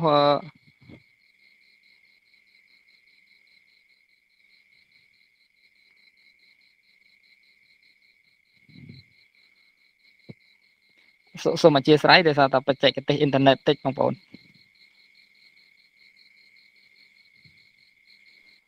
បាទសំណួរពីបងប្រុសជាវស្រស់ដែលបងប្រុសស៊ូទៅអឺស៊ូថាតើអ្វីៗទាំងអស់សុទ្ធតែជានយោបាយឬបាទខ្ញុំកណាខ្ញុំចាស់សូមប្រកេនសំណួរនេះជូនទៅដេចគុណរឹមចន្ទរាដើម្បីធ្វើការបកស្រាយបាទសូមអញ្ជើញនិមន្តដេចគុណបកស្រាយនៅសំណួរ សូមក្រាបថ្វាយបង្គំព្រះធេរៈគ្រប់ព្រះអង្គជាទី3ចម្រើនពរញោមអ្នកសួរនិងចម្រើនពរញោមអ្នកចូលរួមស្ដាប់ទាំងទៀតដំបងដៃចង់បញ្ជាក់ប្រាប់ញោមអ្នកចូលរួមតិចថាពួកយើងមិនមែនធ្វើការបញ្យលថ្ងៃនឹងតែម្យ៉ាងទេប្រសិនបើជីវិតនៅរស់ទេនៅមានសប្តាហ៍តទៀតវែងឆ្ងាយណាស់ដូច្នេះជាបំណងរបស់អាត្មាអាត្មាគ្រាន់តែចង់បកស្រាយអំពីខ្លឹមសារនៃពាក្យ ខ្លឹមសារនៃពាក្យថានយោបាយនិងសាសនានឹងឲ្យពួកយើងបានយល់សិនហើយរឿងថាតទៅយើងធ្វើយ៉ាងណាយ៉ាងណាឧទាហរណ៍ដូចក្នុងពុទ្ធសាសនាហ្នឹងតើកតិណាខ្លះដែលយើងគួរតែជ្រើសយកមកបញ្យលពលរដ្ឋយើងក្នុងសង្គមឲ្យមានការយល់ដឹងយកចំណេញពីសាសនាយើងយ៉ាងណាហ្នឹងវាត្រូវប្រើពេលវែងឆ្ងាយទៀតដូច្នេះអធិស្ឋានសម្រាប់សំណួរញោមខ្លះគឺមិនបានឆ្លើយទេញោមសួរលោកទៅឆ្ងាយពេកការសួររបស់ញោមនោះបើសិនបើពួកក្រុមពួកយើងធ្វើការឆ្លើយទៅវាហាក់បីដូចថាវាបញ្ចប់នៅប្រធានបទនឹងតែម្ដង អញ្ចឹងมันបានឆ្លើយទេសំណួរញោមខ្លះសម្រាប់សំណួរញោមណាដែលពិចារណាឃើញថាវាមានពាក់ព័ន្ធនឹងប្រធានបទគឺវគ្គដំបូងគឺយើងនិយាយពីខ្លឹមសារសិនណាអាហ្នឹងទៅអាត្មាធ្វើការឆ្លើយនឹងបញ្ជាក់ប្រាប់ញោមមុនអញ្ចឹងកុំឲ្យអាអនសពូនចិត្តអីយើងអាចនឹងមានការចរចាគ្នានៅថ្ងៃខាងមុខទៀតសម្រាប់សំណួរសម្រាប់ម្ចាស់សំណួរដែលសួរថាវៃវៃគ្រប់យ៉ាងសុទ្ធតែនយោបាយមែនការដែលញោមសួរអញ្ចឹងព្រោះតែញោមបានលើអាត្មាបកស្រាយមិញហ្នឹងឥឡូវអាត្មាបញ្យលញោមយេះញោមចាប់ឲ្យតាន់ជាទ្រឹស្ដីសិន ជាទ្រឹស្ដីថានយោបាយគឺជាវិធីក្បួន ដោះស្រាយបញ្ហារបស់មនុស្សនយោបាយគឺជាវិធីដោះស្រាយទុក្ខយើងនិយាយតែប៉ុណ្ណឹងអាហ្នឹងអាហ្នឹងនិយាយពីទ្រឹស្ដីនិយាយតែប៉ុណ្ណឹងហេតុអីបានត្រូវនិយាយអញ្ចឹងឥឡូវអញ្ចឹងយើងយើងនិយាយពីរឿងហេតុផលណាខ្ញុំមើលប្រពុតដែលជាអ្នកត្រាស់ដឹងតើបណ្ដាលសត្វលើលោកទាំងអស់អ្នកណាយល់ការជាងព្រះថាគ្មានទេយើងឆ្លើយយ៉ាងហ្មងនិយាយកាន់ជើងព្រះហ្មង តើអ្នកណា ដែលមានបំណងល្អជាងគេនឹងប្រហែលព្រះអត់មានទេតើអ្នកណា ដែលស្គាល់វិធីក្នុងការជួយមនុស្សឲ្យជាងព្រះអត់មានទេអាត្មាសូមឆ្លើយថាអញ្ចឹងណាបើសិនបើអ្នកណាមួយជាលទ្ធិដតីចូលក្នុងទីហ្នឹងគេនឹងបដិសេធខាងថាព្រះអីក៏ល្អយ៉ាងហ្នឹងតែអាត្មាសូមនិយាយយ៉ាងសិនថាគ្មានអ្នកណាជាងព្រះអង្គទេឥឡូវយើងទៅមើលអញ្ចឹងសួរថាព្រះសម្ពុទ្ធព្រះអង្គកំណត់យកអ្វីដែលជាបញ្ហារបស់មនុស្សធំបំផុត ព្រះអង្គកំណត់យកថាមនុស្សដែលដែលដែលជាប្រភពធំបំផុតហ្នឹងតាក់ទងរឿងពីក្នុងនេះតាក់ទងរឿងអាល្ងងពីក្នុងនេះវាមានច្រើនលំដាប់ណាវាមានមោហៈវាមានល្ងងវាមានវង្វេងវាមានអវិជ្ជាឥឡូវអាត្មាសូមប្រើពាក្យងាយងាយថាប្រសាមពុទ្ធបានកំណត់ថាអវិជ្ជាទេដែលជាប្រភពបញ្ហាធំណាស់ រឿងការដែលយើងរស់នៅជាមនុស្សហើយចាត់ចែងបាយទឹកមិនសពមិនគ្រប់អត់មានសមត្ថភាពមួយខាងបៀតបៀនមួយខាងពូជមួយធ្វើបាបពូជមួយប្រទេសមានកលល្បិចកលយុគហ្នឹងណាអានឹងជារឿងបន្ទាប់បន្សំទេសម្រាប់អារម្មណ៍របស់ព្រះសម្ពុទ្ធព្រះអង្គឃើញថាបើមនុស្សអស់ល្ងងពីក្នុងទៅថាយ៉ាងចោះកុំយកពីអវិជ្ជាមកនិយាយវាជ្រៅពេកបើមនុស្សគ្រប់គ្នាអស់ល្ងងពីក្នុងទៅអាហ្នឹងក៏វាអស់ដែរខ្ញុំគិតជាហេតុជាផលមើលចោះឥឡូវយើងនិយាយថាវិបត្តិនយោបាយតើកើតចេញអំពីអ្វី វិបត្តិនយោបាយកើតចេញអំពីមនុស្សវិបត្តិយើងនិយាយអញ្ចឹងព្រោះមនុស្សវិបត្តិទៅថេវិបត្តិមនុស្សវិបត្តិមនុស្សវិបត្តិគុណធម៌សូមស្មាតទោះណាវិបត្តិនយោបាយកើតចេញអំពីមនុស្សក្នុងប្រទេសហ្នឹងវិបត្តិគុណធម៌ចុះមនុស្សវិបត្តិគុណធម៌មកពីអីវិញដែរមនុស្សវិបត្តិគុណធម៌មកអំពីវិបត្តិទិដ្ឋិមនុស្សអាក្រក់ឬល្អគឺតតងតថេណាតាដោហើយគឺដោហើយខ្ញុំកុំច្រឡំថាមនុស្សធ្លាប់តែល្អហើយ ដល់ពេលល្អហើយនឹងល្អមួយជីវិតល្អតទៅណាអត់ទេណាតាសេពគប់ខុសយល់ច្រឡំខុសត្រឡប់ទៅជាអាក្រក់24ម៉ោងយ៉ាងខូខើបំផុតអញ្ចឹងចង់ប្រាប់ថាគុណធម៌វិបត្តិមកអំពីទិដ្ឋិវិបត្តិអញ្ចឹងប្រសាពុទ្ធយល់ឃើញថាប្រសិនបើកែទិដ្ឋិរបស់មនុស្សប្រើពាក្យថាកែចុះប្រសិនបើលុបឬកែទិដ្ឋិរបស់មនុស្សបានណាផ្ទុយមកវិញមកថាមនុស្សលែងមានវាទៅជាវាទៅជាមានគុណគុណធម៌មនុស្សមានគុណធម៌ កិច្ចការនយោបាយប្រកាសជាស្រួលដែរអញ្ចឹងអារឿងបាយទឹកនំចំណីសុខទុក្ខសុវត្ថិភាពក៏វិធូតាមនឹងដែរប្រសាមពុទ្ធបានដាក់ទិសដៅថានយោនយៈឬអ្វីដែលដែលយើងនិយាយថា ជាបញ្ហាណាគឺភាពអវិជ្ជាភាពល្ងងរបស់មនុស្សទេសំណួរសួរថាពេលដែលព្រះអង្គឃើញអញ្ចឹងហើយតើព្រះអង្គធ្វើអ្វីព្រះអង្គបានជ្រើសយកការបញ្យលមនុស្សដោយធម្មទេសនារបស់ព្រះអង្គដោយការចេះដឹងរបស់ព្រះអង្គដើម្បីរំលាយអានោះ 45ឆ្នាំមិនដេកបំពួនគេថាជីវិតរបស់ពុទ្ធដេកតែចាប់អានោះមកទោះថានិយាយក្រក់ស្ដាប់នេះដេកដេកព្រះអង្គធ្វើនៅសហសេយាសហសេយាសនៈចាប់តាំងអំពីម៉ោង2ដណ្ដប់យប់រហូតដល់ម៉ោង3តែប៉ុណ្ណឹងគត់ហើយក៏មិនមែនជាការដេកលក់បែបភ្លៀងភ្លើងដូចយើងទេណាញោមគ្រាន់តែជាការតងកងស្មារតីទៅក្នុងឈានរបស់ព្រះអង្គទេមិនមែនជាការលិចលង់នៅក្នុងមោហៈទៀត 45ឆ្នាំធ្វើតែអញ្ចឹងចំនួននឹងមនុស្សគេអាយុដល់120 100ព្រះអង្គអាយុតែ80ឯដោយសារសុខភាពមិនសូវបានសឹងក្រៅតែពីនឹងដកតែពេលឆាន់ជុះសឹងចេញគឺជីវិតដើម្បីបញ្យលអ្នកស្រុកស្ទើរតែទាំងស្រុងហើយមិនមែនតែអ្នកស្រុកយើងទេគឺទេវតាវាព្រមផងឥឡូវយើងទុកម្ដុំយើងនិយាយថាមនុស្សយើងនេះជាឧបាយនេះជាឧបាយនេះជាវិធីនេះជាក្បួនយ៉ាងប្រសាមពុទ្ធគឺជាអ្នកនយោបាយ សំណួរសួរថាអ្វីអ្វីគ្រប់យ៉ាងជានយោបាយមែនទេខ្ញុំចង់សួរថាតើកិច្ចការគ្រប់យ៉ាងសុទ្ធតែជានយោបាយមែនអត់អាត្មាបន្ថែមឲ្យណាមិនមែនអ្វីអ្វីទេគឺរាល់កិច្ចការទាំងអស់សុទ្ធតែនយោបាយឬយ៉ាងម៉េចឧទាហរណ៍ខ្ញុំកណាព្រឹកឡើងងើបទៅត្រុតម៉ូតូដប់ដើម្បីយកលុយមិនមិនចាំប្រពន្ធអានឹងនយោបាយដែរមែនញោមចាប់អីតាន់អានេះញោមនយោបាយគឺជាវិធីដោះបញ្ហារបស់មនុស្សឥឡូវបើញោមជាបុគ្គលឯកជនកំពុងតែមានបញ្ហាតខ្លួនកូវីដចូលមកគេពាក់លុយគេក្រហើយកាត់រោគទៀត បងថ្លៃទឹកថ្លៃពើងរស់នៅភ្នំពេញតើខ្ញុំគួរតែរកស៊ីមួយមុខឬមួយក៏បន្ថែមមុខរបរ2ទៅ3ឆ្លៀនធ្វើការដើម្បីដោះស្រាយបញ្ហានឹងបានណាអញ្ចឹងញោមចាប់ផ្ដើមចែកប្រពន្ធឲ្យធ្វើអីប្តីឲ្យធ្វើអីកូនឲ្យធ្វើអីម៉ោងពេលយប់ធ្វើអីថ្ងៃធ្វើអីវិធីលេងលោកក្បួនទាំងប្រមាណដើម្បីដោះស្រាយបញ្ហារបស់ញោមឯកជនណាគេហៅថានយោបាយបុគ្គលនយោបាយបុគ្គលចុះបើយើងរស់នៅជុំគ្នាយើងរស់នៅជុំគ្នាជាគ្រួសារយើងរស់នៅជាក្រុមហ៊ុន ដើម្បីឲ្យក្រុមហ៊ុនរបស់យើងទៅមុខដើម្បីគ្រួសាររបស់យើងដើម្បីសមាជិករបស់យើងទៅមុខគេហៅនយោបាយបុគ្គលនយោបាយគ្រួសារ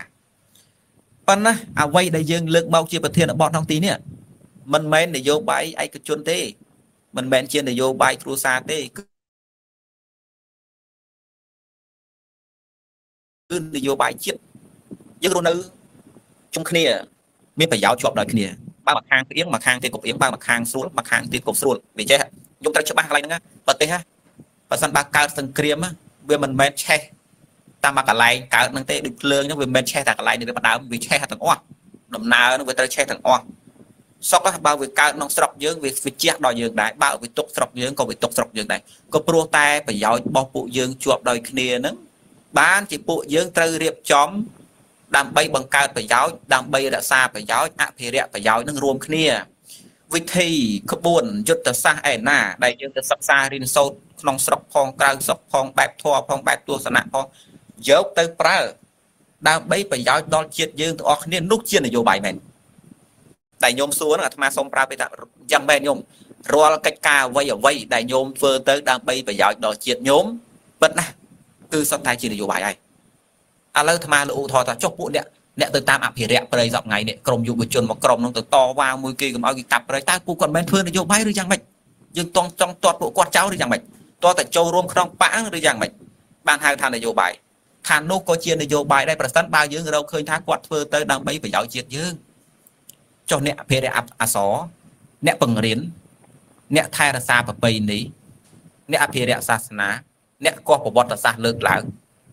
អ្នកអ្នកសាងសង់អ្វីថ្មីថ្មីដើម្បីខ្មែរ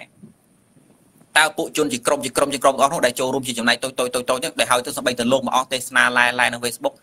ប្រសិនបើរកឃើញថាដើម្បីប្រយោជន៍ជាតិដើម្បីប្រយោជន៍មហាជនមែនមិនមែនជាការរកស៊ីទេ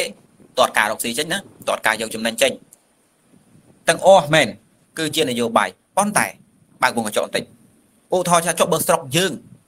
យើងរកឃើញថាណែបញ្ហាធំ ដែលធំបំផុតឧទាហរណ៍ទេណាអាត្មាមាននិយាយចំឯងព្រោះអាត្មាខ្លាចគាត់ថ្ងៃហ្នឹងថ្ងៃនេះមានអារម្មណ៍ខ្លាចទៅនិយាយថាឧទាហរណ៍ថាស្រុកយើងដែលបញ្ហាធំតកតងរឿងអំណាចប្រមូលផ្ដុំទេអញ្ចឹងអ្នកឯងទៅចូលរួមកាត់ទៅចូលរួមរក្សាព្រៃទៅចូលរួមអភិរក្សអសរទៅចូលរួម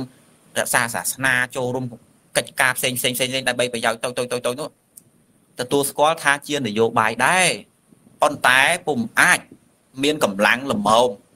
គ្រប់គ្រាន់ដើម្បីរំលត់បញ្ហាធម្មតាទេដូចយើងកាន់កបិតមួយអញ្ចឹងយើងមិនចង់ឲ្យមានបលានោះវាដុសទេប៉ុន្តែយើងកាត់តែស្លឹកទៅច្បាច់ចង់តិចទៅកាត់ធៀងតិចទៅទៅដោះវាបន្តិចវាមិនដាច់គុលដល់ពេលវាមិនដាច់គុលវាហត់ណាស់100ជំនាន់ទៀតក៏មិនទៅណាកាត់ដែរអញ្ចឹងយើងបានក្នុងនាមជាអ្នកយល់ការជាងក្នុងនាមជារៀងច្បងកុំកុំកុំវាយបំបាក់ពួកនេះអស់នោះកុំកុំទាត់ពួកគេចោលថាឯងមិននយោបាយទេឯងស្អីអត់ប្រយោជន៍អត់ទេ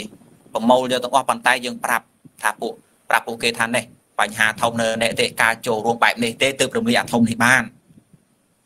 ប៉ុន្តែទោះជាយ៉ាងណាដោយដែលខ្ញុំសួរថាគ្រប់យ៉ាងនៃគុណជានយោបាយមែនអត់កិច្ចការគ្រប់យ៉ាងអាត្មាសូមឆ្លើយថាប្រសិនបើកិច្ចការគ្រប់យ៉ាងនោះមិនមែនជាកិច្ចការរកប្រយោជន៍ឯកជនទេមិនមែនជាកិច្ចការរកប្រយោជន៍បកពួកទេមិនមែនជាកិច្ចការបង្ខូចពួកខូចទេ តែជាកិច្ចការដើម្បីប្រយោជន៍រួម ជាកិច្ចការដែលលើសពីប្រយោជន៍រួមគឺសង្គ្រោះគេផងព្រោះអ្នកខ្លះចូលរួមមិនមែនដើម្បីប្រយោជន៍រួមតែម្យ៉ាងដើម្បីជួយគេផងលើសពីនឹងផងចិត្តព្រះនោះជានយោបាយបែបហើយញោមម្ចាស់ញោមម្ចាស់សំណួរបានបាននៅក្នុងក្រមហ្នឹងទេនោះជានយោបាយមែនហើយអញ្ចឹងបានអាត្មាឲ្យខ្លឹមសារនៃនយោបាយហ្នឹងនៅក្នុងសប្តាហ៍ហ្នឹងយើងនិយាយទៅរឿងខ្លឹមសារសិនទេសម្រាប់ញោមណាទៅសួររឿងកុំនេះមិនសេរីមិនអាត្មាអត់ទេអត់មានចំណងក្នុងការបកស្រាយព្រោះវាឆ្ងាយណាស់ពី300ជំហានទៅបាត់ហើយ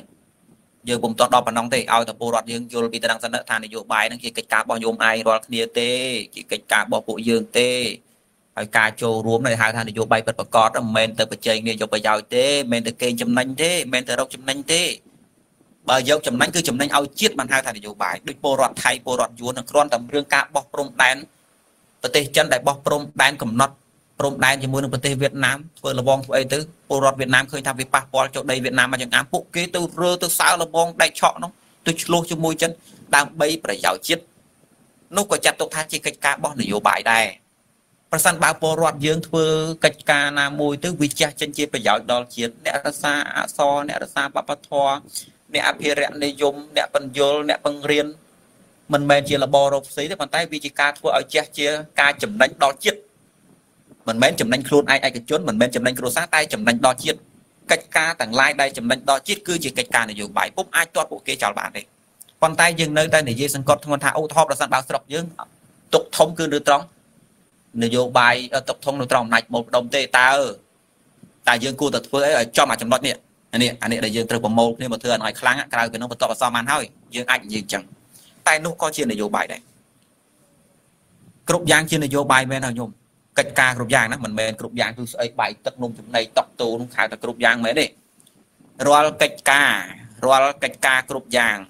ដែលចំណេញដល់ជាតិញោមវាជានយោបាយមែនហើយញោមម្ចាស់សំណួរអញ្ចឹងបានជាអាត្មាបកស្រាយខ្លឹមសារថានយោបាយគឺជាវិធីដោះស្រាយបញ្ហារបស់មនុស្សឥឡូវសូមបង្កើតជាចំណោទតូចមួយបើសិនបើពេលមានខ្ញុំខ្ញុំរៀបជួយរៀបចំតើអាត្មាសល់ពេលប្រហែល គេលោចំណោទហ្នឹងវាហូរហៀទៅលើសម៉ោងខ្ញុំអឺដេគុណមានដេគុណមានពេល5នាទីទៀតសម្រាប់បកស្រាយអញ្ចឹងអញ្ចឹងសមល្មមចំណោទនេះខ្ញុំចំណោទថាឥឡូវប្រសិនបើបុគ្គលម្នាក់គាត់នឹងវាសពគ្រប់ហើយសពថ្ងៃនេះស៊ីជុះមានសពគ្រប់លុយឡានក៏មានស្អីក៏មានសពគ្រប់មិនមែនដល់វេទនាទេប៉ុន្តែអតណ្ហាក្នុងចិត្តចេះតែចង់បានទឹកបានដីបានធ្លី ហើយក៏ដាក់ថាការដែលអញមិនបានទឹកមិនបានដីមិនបានធ្លីគេថែមទៀតនោះវាជាទុកអញ្ចឹងប្រសិនបើអាចបង្កើតរបាយវិធីណាមួយដើម្បីដោះស្រាយទុកនឹងតើចូលនៅក្នុងខ្លឹមសារដែលនិគុណបកស្រាយអត់ព្រោះយើងនិយាយកោកោកមិននិយាយថានយោបាយគឺវិធីដោះទុកឲ្យចុះបើមនុស្សនឹងចង់បានអានឹងហើយមិនបានដូចចិត្តវាទុកតើនឹងជានយោបាយដែរមែនអត់ថាមិនមែនទេទុកនៅក្នុងទីនេះបញ្ជាក់បន្តិចទុកដោយពលរដ្ឋយើងនេះបានថាទុកឧទាហរណ៍អ្នករងអយុត្តិធម៌ អ្នកខ្វះបាយទឹកនំចំណីអ្នកដែលគេវាយក្បាលហើយមិនដឹងរកខុសត្រូវយ៉ាងម៉េចអ្នកដែលបាត់បង់សាច់ញាតិរបស់ខ្លួនស្លាប់ទៅរកមុខរកមាត់មិនឃើញអញ្ចឹងជាដើមបានយើងកំណត់ថាជាទុកព្រោះវាជាទុកមែនបើមិនដោះស្រាយទេវាយ៉ាប់បើមិនដោះស្រាយទេជីវិតវាវិនាសប៉ុន្តែអត់តន់ហាក្នុងចិត្តរបស់អ្នកឯងអ្នកឯងបង្កើតខ្លួនឯងមិនមែនជាទុកទេអ្នកឯងមិនអាចយកអាចចំណងរបស់ខ្លួនចង់បានហើយមិនបានដូចចិត្តថាជាទុកហើយយកមកដាក់នៅក្នុងខ្លឹមសារថាអញ្ចឹងការដោះស្រាយទុកហ្នឹងជាជានយោបាយដែរមែនការដែលខ្ញុំ ចូលទៅធ្វើល្បិចពេចកលបន្លំបកៅទៅទៅបានដីធ្លីគេអានោះជានយោបាយដែរដូចដូចកូនឯងបកស្រាយដែរថាមិនមែនទេណាខ្ញុំទុកដែលយើងនិយាយក្នុងទីនេះតួយ៉ាងដោយពលរដ្ឋដែលបាត់ទឹកបាត់ដីដែលគេបន្លំយកហើយមិនដឹងតបយ៉ាងម៉េចអានឹងជាដើមបានរាប់ថាជាទុកហើយវិធីសាស្ត្រក្នុងការបានអានឹងមកវិញក្បួនក្នុងការដោះស្រាយការពារទឹកដីការពារអិសរភាពការពារបរណភាពដោះស្រាយសេដ្ឋកិច្ចដោះស្រាយរោគដោះស្រាយវិបត្តិដោះស្រាយភាពរញ៉េរញ៉ៃក្នុងសង្គម គ្រប់យ៉ាងជានយោបាយមែនហើយប៉ុន្តែបច្ចៈហើយបច្ចៈទៀតថាបើនៅក្នុងកិច្ចការគ្រប់យ៉ាងនោះស្រាប់តែរកឃើញថាញោមឯងធ្វើដើម្បីខ្លួនឯងទេដើម្បីលក្ខណៈគ្រួសារទេឬថាដើម្បីចូលមករំលំលេទេពួកខ្លះខូចណាស់ចូលមកក្នុងបាក់ណាក៏ដោយចូលទៅដើម្បីញុះញង់បែកបាក់ទេពួកថាកន្លែងណាល្អសាមគ្គីនេះអញ្ចឹងវាចូលទៅញុះទៅនេះតិចចូលញុះតិចវាយទៅនេះតិចវាយទៅនោះតិចទៅឲ្យខ្ទេចអស់ សិល្បៈធ្វើឲ្យបានសម្រេចគោលដៅមិនមែនជានយោបាយទេបើបកស្រាយអញ្ចឹងព្រោះអានោះក៏មានសិល្បៈរបស់វាដែរសិល្បៈរបស់វាគឺឲ្យខ្មែរយើងខ្ទេចសិល្បៈរបស់វាគឺឲ្យយើងនឹងខ្ទេចទាំងវងសិល្បៈរបស់វាគឺឲ្យយើងបែកគ្នាអស់វាក៏មានសិល្បៈរបស់វាដែរវាមិនមែនជានយោបាយទេយើងកំណត់ថាប្រសិនបើអ្នកឯងធ្វើទៅចេញជាប្រយោជន៍បុគ្គលចេញជាប្រយោជន៍បពពួកតែប៉ុណ្ណោះឬថាធ្វើទៅដើម្បីរំលាយប្រយោជន៍គេតែប៉ុណ្ណោះ នោះមិនមែនជាកិច្ចការនយោបាយទេប៉ុន្តែផ្ទុយមកវិញបាទអ្នកមិនមែនជាចិត្តសប្បុរសអីក៏ដោយជាពលរដ្ឋសាមញ្ញធម្មតាតែអ្នកចូលរួមនឹងដើម្បីប្រយោជន៍ចំណេញដល់ជាតិអ្នកជាអ្នកនយោបាយដែរព្រោះកិច្ចការនយោបាយហ្នឹងជាកិច្ចការរបស់អ្នករាល់គ្នានឹងឯងនៅក្នុងច្បាប់ខ្មែរក៏គេនិយាយចឹងដែរឥឡូវអាត្មាសូមធ្វើការបកស្រាយប៉ុណ្ណឹងទៅចោះខ្ញុំសម្រាប់សំណួរដែលញោមបានសួរសូមបកគលកម្មវិធីឲ្យញោមវិញបាទសូមអរគុណ ប្រជាជនដែលបានបកស្រាយសំណួរយ៉ាងក្បោះក្បាយហើយសង្ឃឹមថាបងប្អូនក៏ដូចជាបងម្ចាស់សំណួរនឹងយល់បានអំពីការបកស្រាយរបស់ប្រជាជនហើយជាកិច្ចបន្ទាប់នេះគឺខ្ញុំសូមជូនសំណួរបន្ទាប់ទៅកាន់បងប្រុសខុនចន្ទឌីដែលជាសំណួររបស់ខាងដេគុណនុនវាសនាដែលដេគុណបានសួរថាតើកត្តាមូលហេតុអ្វីដែលបើ ដែលបណ្ដាលឲ្យពលរដ្ឋមួយភាគធំយល់ច្រឡំចំពោះពាក្យនយោបាយក្នុងន័យមិនល្អនៅក្នុងសង្គមរបស់យើងអញ្ចឹងសូមជូនទូនាទីជូនទៅដល់បងប្រុសគុណចន្ទឌីដើម្បីបកស្រាយនៅសំណួរអរគុណបាទសូមគោរពភាសាទៀតកុំឲ្យវែងឆ្ងាយខាតពេលណាគោរពទាំងអស់ទាំងប្រសង់ទាំងប្រសក់តើកត្តាមូលហេតុអ្វីទៅបណ្ដាលឲ្យពលរដ្ឋមួយភាគធំយល់ច្រឡំចំពោះពាក្យនយោបាយក្នុងន័យមិនល្អក្នុងសង្គម ខ្ញុំឆ្លើយកាត់កាត់ខ្លីៗតាក់ទងទៅនឹងមួយខ្លាចទី2បាក់ស្បាតទី3ធ្លាប់ចាញ់បោក គេញឹកញាប់ពេកបកើតបាក់ច្រើនពេកក្នុងប្រទេសពិបាកជ្រើសរើសប៉ះអ្នកនយោបាយដែលធ្វើប្រជាពិធដ្ឋរួមគ្នាធ្វើនយោបាយទៅឃើញតែខុសជាប់គុកតកូនតចៅណាអបន្ទាប់មកឲ្យមើលឃើញគេធ្វើនយោបាយទៅហើយជាប់គុកងាប់ខ្លួនរត់ចោលស្រុក ដល់តែអញ្ចឹងទៅដល់តែអញ្ចឹងទៅមនុស្សមួយភាគធំហ្នឹងមើលឃើញថានយោបាយហ្នឹងវាវាទៅជារឿងមួយដែលវាវាជាការយកច្រឡំណាជាការយកច្រឡំថាពាក្យនយោបាយនេះវាទៅមើលទៅដូចខោខើព្រៃផ្សាយដូចថាវាវាមិនគួរនឹងចូលរួមណាអាហ្នឹងខ្ញុំឆ្លើយខ្លីៗតាក់ទងទៅហ្នឹងខ្លាចខ្លាចខ្លាចដល់ពេលខ្លាចចឹងមិនហ៊ានចូលរួមក្នុងការធ្វើនយោបាយអញ្ចឹងទៅកាលណាមិនហ៊ានចូលរួមក្នុងការធ្វើនយោបាយហ្នឹង ឲ្យអត្តន័យនយោបាយហ្នឹងវាអត់ល្អក្នុងសង្គមហ្នឹងនយោបាយវាទៅជាមានតែការប្រើអំពើហិង្សានយោបាយមានតែការកាប់សម្លាប់នយោបាយមានតែការសងសឹកជីកស្មៅជីកចង្រឹះអាហ្នឹងយើងលើកអំពីប្រវត្តិសាស្ត្រណាតែសម្លាប់ឪហើយសម្លាប់ដល់កូនទៀតខ្លាចឲ្យមកដណ្ដើមអំណាចវិញបាក់ស្បាតចេញទៅពីគុកមកហើយមិនហ៊ានធ្វើនយោបាយតទៅទៀតទេផ្ដាំកូនផ្ដាំចៅថាកូនណាអានេះនយោបាយហ្នឹងគឺវារឿងមិនល្អទេកុំណាឲ្យមើលអញជាគំរូអញជាប់គុកណា มันបានបណ្ដោះគំនិតស្នេហាជាតិឲ្យកូនទេតែខ្លួនឯងជួបប្រទះហើយខ្លួនឯងតែងតែចេញមកហើយផ្ដាំអាហ្នឹងចំពោះវីរៈបរោះជាតិមួយចំនួននោះសុកចិត្តងាប់ទាំងខ្លួនងាប់ដល់កូនចៅទៀតផ្ដាំតែបើចិត្តកំសាកទៅមុខមិនរួចទេតែខ្លួនឯងជាប់គុកជាប់ច្បាប់តិចតួចហ្នឹងផ្ដាំកូនផ្ដាំចៅលីហើយធ្វើអាហ្នឹងអញ្ចឹងរួចហើយការយល់ច្រឡំរបស់បុគ្គលទាំងអស់នោះវាតកូនតចៅមកអ្នកខ្លះខ្ជិលណា ធ្វើនយោបាយទៅហើយមានអីមានតែជាប់គុកបើអញ្ចឹងរត់ចោលស្រុកទៅមកណាវិចកូនវិចចៅវិចលុយវិចអីរត់ទៅស្រុកក្រៅអស់ទៅអាហ្នឹងអញ្ចឹងបាត់ធនធានមនុស្សបាត់កម្លាំងចលករនៃការរុញទៅឲ្យអាចលនយោបាយនោះឲ្យដល់គោលដៅមួយទៀតធ្វើនយោបាយទៅទៅចំតាអ្នកនយោបាយប្រជាពិធដ្ឋអប្រជាពិធដ្ឋហ្នឹងវាបច្ច័យបច្ចើបោកប្រាស់ណាដល់អញ្ចឹងទៅទៅប៉ះអាហ្នឹងទៅ មកយកទាំងអស់បដ ாய் អ្នកនយោបាយណាក៏ដូចអ្នកនយោបាយណាដែរអត់មានអាណាមានកំណត់ស្មោះត្រង់ស្រឡាញ់ជាតិអីទេគឺធ្វើទៅដើម្បីតែខ្លួនឯងធ្វើទៅដើម្បីតែក្រុមគ្រួសារខ្លួនឯងអានោះហើយដែលធ្វើឲ្យមហាជនមួយភាគធំមានការយល់ច្រឡំយ៉ាងខ្លាំងចំពោះនៃនយោបាយមិនល្អនៅក្នុងសង្គមអញ្ចឹងទៅអត់មានការចូលរួមទេណាវាអត់មានការចូលរួមវាតតកូនតចៅអើតែមានតែអ្នកណាស្លាប់មួយឥឡូវយើងនិយាយមកដូចលោកកែមលីអញ្ចឹងគាត់មិនទាន់ហក់មកធ្វើនយោបាយគាត់អ្នកវិភាគសង្គមហ្នឹង ត្រូវបានគេបាញ់សម្លាប់គាត់អញ្ចឹងហ្នឹងគ្រាន់តែកូនចៅរបស់គាត់ប៉ុណ្ណឹងគឺទៅតាមគាត់បាត់អានេះខ្ញុំលើកមកជាតល័យកមួយច្បាស់លាស់ក្នុងសង្គមយើងបច្ចុប្បន្នបាច់មើលអីទេហើយបងប្អូនកូនចៅរបស់គាត់មិនហ៊ានធ្វើញាតសន្តានរបស់គាត់មិនហ៊ានធ្វើនឹងគេយល់ទៅលើយមន័យហ្នឹងគេថានយោបាយគឺជារឿងប្រើតែហិង្សានយោបាយវាគ្មានអីដោះស្រាយក្រៅពីការបាញ់សម្លាប់ជាប់គុកជាប់ច្បាប់ហ្នឹងដែលធ្វើឲ្យមនុស្សខ្លាចលេងហ៊ានធ្វើនយោបាយបាក់ស្បាត ចាញ់បោកគេញឹកញាប់បាក់ស្បាតខ្លាចបង្កើតនយោបាយច្រើនពេកប្រទេសប្រប៉ុនបាតដៃបង្កើតគណៈបកនយោបាយ30 40គណៈបកនយោបាយរួចហើយបបាក់ក្នុងការជ្រើសមើលមិនដឹងទៅចូលជាមួយអ្នកណាអ្នកនេះក៏ថាស្នេហាជាតិអានោះក៏ថាស្នេហាជាតិចុងក្រោយទៅវាអត់ឈ្នះគណៈបកប្រជាជននិយាយឲ្យត្រង់ហ្មងនេះកុំនិយាយនេះមិនមែនថាចង់បង្អាប់បកណាបកណាទេគោលនយោបាយធ្វើចុងក្រោយទៅក៏នៅមិនឈ្នះគណៈបកប្រជាជនតែសារអីមានអំណាចពេញដៃមានកម្លាំងចលករខ្លាំងចាក់ គ្រឹះបុកដល់ឋានប្រែតឋាននរុអីហ្នឹងអានេះខ្ញុំនិយាយអំពីតតភាពពិតរបស់សង្គមយើងបច្ចុប្បន្នណារួចហើយដល់អញ្ចឹងធ្វើមិនឈ្នះគេដល់ធ្វើមិនឈ្នះគេចេញទៅពីបាក់ផ្សេងផ្សេងមកអញឈប់ធ្វើ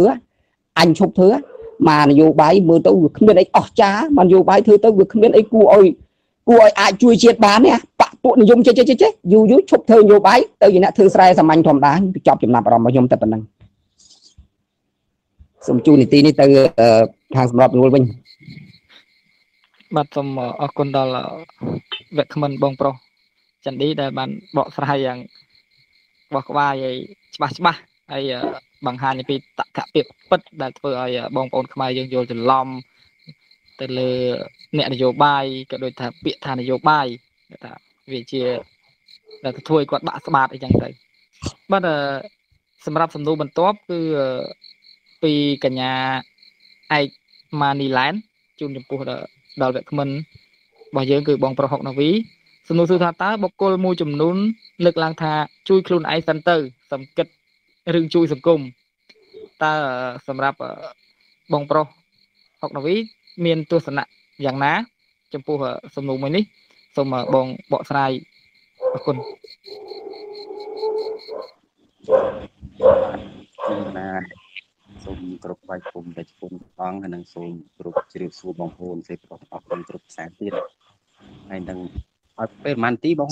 សួរគ្នាសិនប៉ុន្មានទីអឺបងបងបងមានពេល10នាទីសម្រាប់ដើម្បីបកស្រាយសំណួរបងបងគ្នាចង់និយាយមុនឲ្យគ្នាឡើងតិចដល់ពេលជំនួសខ្លីយើងឆ្លើយខ្លីឲ្យដល់10នាទីតាមកម្មមានដល់កងសូមសូមសំណួរម្ដងទៀតបងអធិស្ឋាន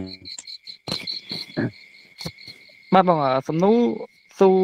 អំពីកញ្ញាឯកម៉ាលីណែនសួរទៅកាន់បងថាបុគ្គលមួយចំនួនលើកឡើងថាជួយខ្លួនឯងសិនសំជួយសង្គម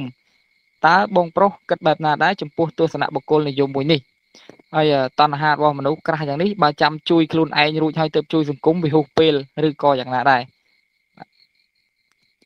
បាទអរគុណម្ចាស់ជំនួសហើយវាយសួរនឹងខ្ញុំនឹងពិចារណាទៅមើល Telegram សិនបង ពាក់ព័ន្ធទៅនឹងប្រយោជន៍បុគ្គលហើយនឹងពាក់ព័ន្ធនឹងប្រយោជន៍ជាតិបើយើងនិយាយពាក់ព័ន្ធនឹងប្រព័ន្ធច្បាប់តែថាសេដ្ឋកិច្ចថ្នាក់ក្រោមជាតិហើយនឹងសេដ្ឋកិច្ចថ្នាក់ជាតិបើសេដ្ឋកិច្ចថ្នាក់ក្រោមជាតិវាទុនខ្សោយប្រជាប្រដ្ឋអត់អីស៊ីហើយសេដ្ឋកិច្ចជាតិដើរតាមណារួចនឹងអញ្ចឹងសេដ្ឋកិច្ចដូច្នេះបានជាគេរៀបចំកញ្ចប់ថវិកា2កញ្ចប់ថវិកាថ្នាក់ក្រោមជាតិហើយនឹងកញ្ចប់ចាប់ថវិកាថ្នាក់ជាតិ ពាក់ព័ន្ធទៅនឹងបុគ្គលដែលតែងតែលើកចំណត់លើកជាកតិថាគិតរឿងអញសិនទៅចាំគិតរឿងជាតិចឹងណាខ្ញុំអត់ដឹងថាគាត់ហ្នឹងរាល់ថ្ងៃហ្នឹងការងាររវល់ថារោពេលដល់ដង្ហើមមិនបានឬក៏មិនចឹងណាព្រោះជាទូទៅពាក់ព័ន្ធនឹងតបកិច្ចក្នុងការចូលរួមនយោបាយយើងអាចបែងចែកជាពីរទី1ក្នុងនាមជាអ្នកគ្រប់គ្រងគណៈបកនយោបាយទី2គឺជាសមាជិកគណៈបកនយោបាយ បើនិយាយពីអ្នកគ្រប់គ្រងវិញយើងអាចគ្រប់គ្រងដោយប្រយោលបានដោយមិនចេញមុខក៏បានអត់នេះជាបញ្ហាទេជាងគ្រប់គ្រងគណៈបកនយោបាយណាមួយដែលមើលថាមាននិន្នាការនយោបាយមានការបកស្រាយមានការទទួលខុសត្រូវមានចំណេះដឹងពិតប្រាកដយើងទៅគ្រប់គ្រងដូចជាគ្មានវិបាកទេនឹងទី1ហើយទី2បើសិនជាគាត់សមាជិកអញ្ចឹងទៅគាត់រវល់លើច្រើនហ្នឹងមកទឹកម្ដងហ្នឹងហើយដូចជាជួយលើកស្លាកទៅប្រជុំអញ្ចឹងទៅអញ្ចឹងណា ដូចជាគ្មានអីរវល់លេច្រើនអារឿងនយោបាយហ្នឹងគាត់ថាមកដាត់យើងទៅប្រជុំម្ដងមួយខែយើងប្រជុំម្ដងទៅទៅជួយតាបកិច្ចជួយទៅបងលុយមួយខែ10000យើងគិត10000ដើម្បីជាតិហើយនឹង10000ផឹកកាហ្វេមួយកាយកមួយណាអាម៉ាហ្សូនឡើងថ្លៃទៀតហ្នឹងមុន guarantee ឡើង3រៀល10000ដើម្បីជាតិយើងវាមិនច្រើនទេខ្ញុំថាបើសិនជាវិជាបរដ្ឋខ្មែរយើងគ្មានលុយ10000ដើម្បីពេញតាប់កិច្ចនយោបាយប្រជាបរដ្ឋខ្មែរយើងគាត់រវល់ថាបោកភ្និចមិនរួចហ្មង មួយឆ្នាំទល់មួយឆ្នាំបាននឹងធ្វើមិនអីយើងវាប្រសំហេតុផលប្រសំហេតុផលថាគាត់ថាដូនតាយើងខំលះបង់ជីវិតនៅក្នុងសមរភូមិពាក់លីជីវិតរាប់ម៉ឺនរាប់សែននាក់ដើម្បីការពារជាតិទឹកដី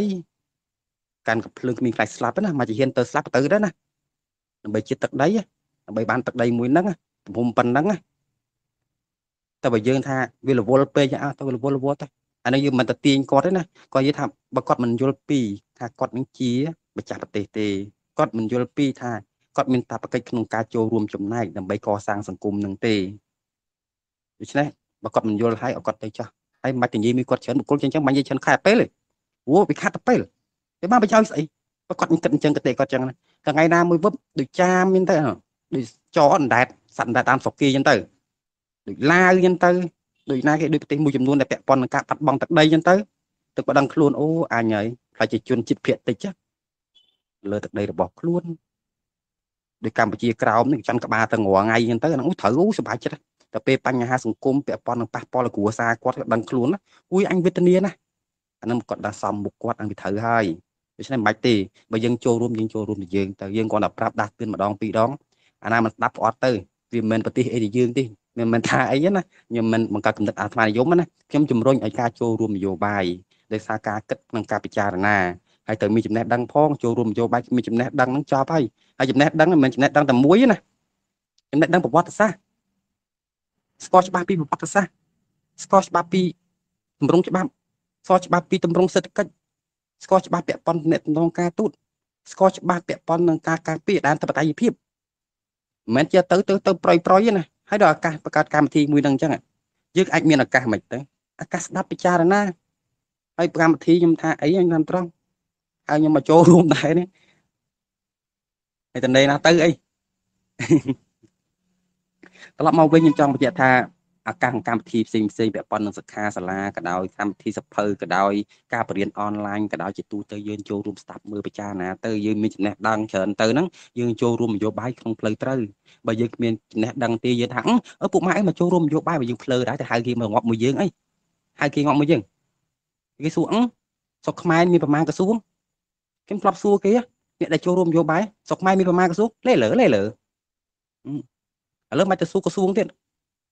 នេះគាត់ចោះឈ្មោះមេឃុំសង្កាត់អញ្ចឹងទៅអញ្ចឹងការងារឃុំសង្កាត់ហ្នឹងការងារខ្លះទៅឈោតំណាងឃុំសង្កាត់ណាតែគ្មានដឹងការងារទេហើយទៅឈោរោងអត់ស្អីណាទៅឈោរោងអត់អីបើគេចេះធ្វើគេធ្វើមុនធ្វើទៅបើថាព្រៀនចេះចាំទៅឈោឈ្មោះដូច្នេះហើយអាហៅគេមកចូលរួមនយោបាយនេះត្រូវចេះខ្លួនឯងផង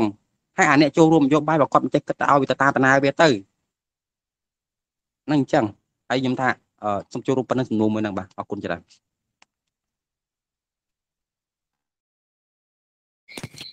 បាទសូមអរគុណដល់បងប្រុសហុកនាវីដែលបានឆ្លើយសំណួរយ៉ាងក្បោះក្បាយអឺដោយសារតែពេលវេលាយើងក៏ជិតដល់កំណត់ហើយអញ្ចឹងសូមអធិស្ឋានអភ័យទោសអំពីបងប្អូនដែលបានសួរសំណួរជាច្រើន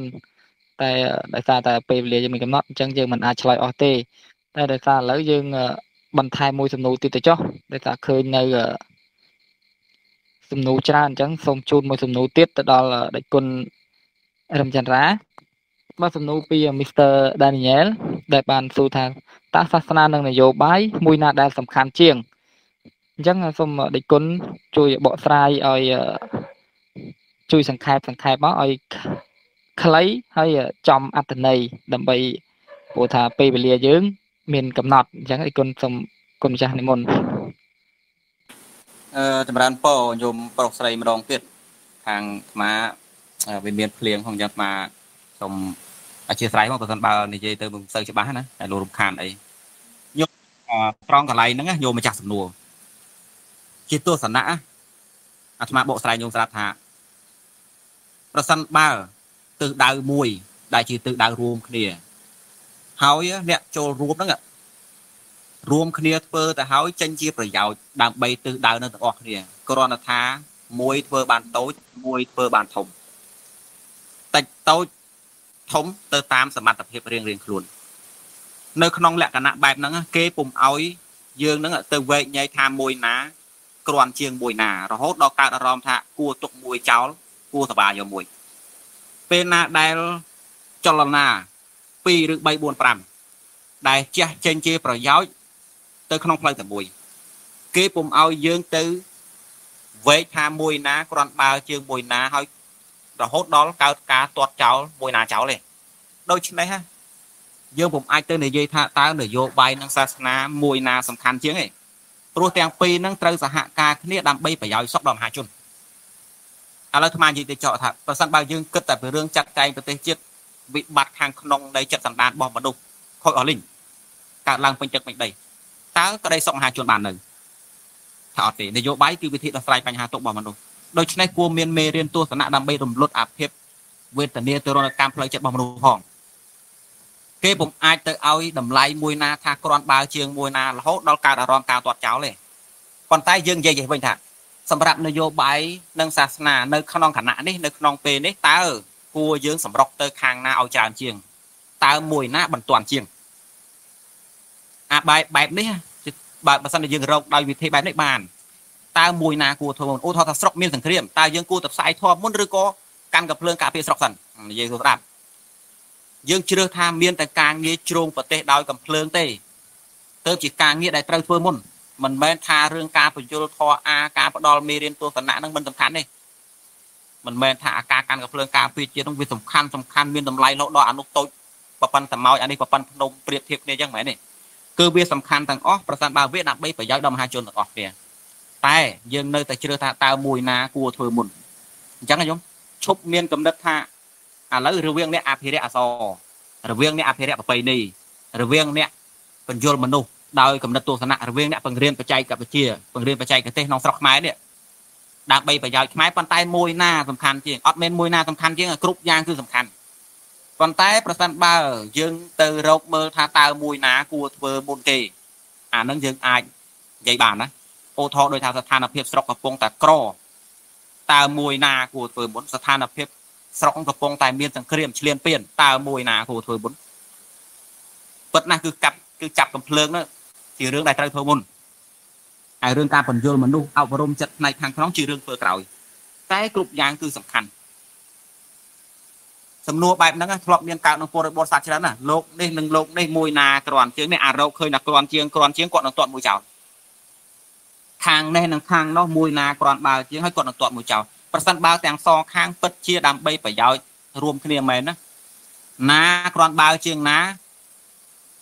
វាមិនសំខាន់ទេ សំខាន់ថាទាំងពីរខាងដើម្បីប្រយោជន៍ជាតិអញ្ចឹងតូចតាមតូចធំតាមធំមិនត្រូវផាត់មួយចោលទេប៉ុន្តែយើងនៅតែនិយាយដដែលថាប្រសិនបើកលៈទេសៈបែបហ្នឹងតើគួរសម្រុកធ្វើមួយណាឲ្យខ្លាំងជាងអញ្ចឹងអាត្មាលើឧទាហរណ៍ថាបើស្រុកកើតបញ្ហាកំពុងតែក្រវេទនាកំពុងតែមានរឿងបរទេសឆ្លៀនពៀនកូនខ្មែរត្រូវចាប់កំភ្លើងជារឿងធំជាងហើយរឿងបញ្យលកំណត់ទស្សនៈត្រូវធ្វើតាមក្រោយញោមម្ចាស់សំណួរតន់ណាខ្ញុំសូមសូមសូមឆ្លើយប៉ុណ្ណឹងចុះព្រោះពេលវេលាយើងខ្លី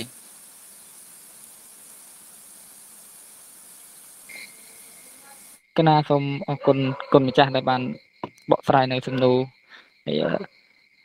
ដោយសារតែពេលវេលាយើងមានកំណត់ដូច្នេះសម្រាប់បងប្អូនដែលបានស៊ូសំណួរជាច្រើនយើងនឹងទុកសំណួរបងប្អូន សម្រាប់ស៊ូនិងបកស្រាយនៅវគ្គបន្ទាប់ទៀតហើយសម្រាប់កម្មវិធីដែលយើងនឹងប្រព្រឹត្តឡើងនៅថ្ងៃណានោះនឹងយើងនឹងមានការជួលដំណឹងជាក្រោយអញ្ចឹងខ្ញុំប្រកាសថាខ្ញុំជាចុងបញ្ចប់សូមអរគុណដល់គុំចាស់គ្រប់ព្រះអង្គ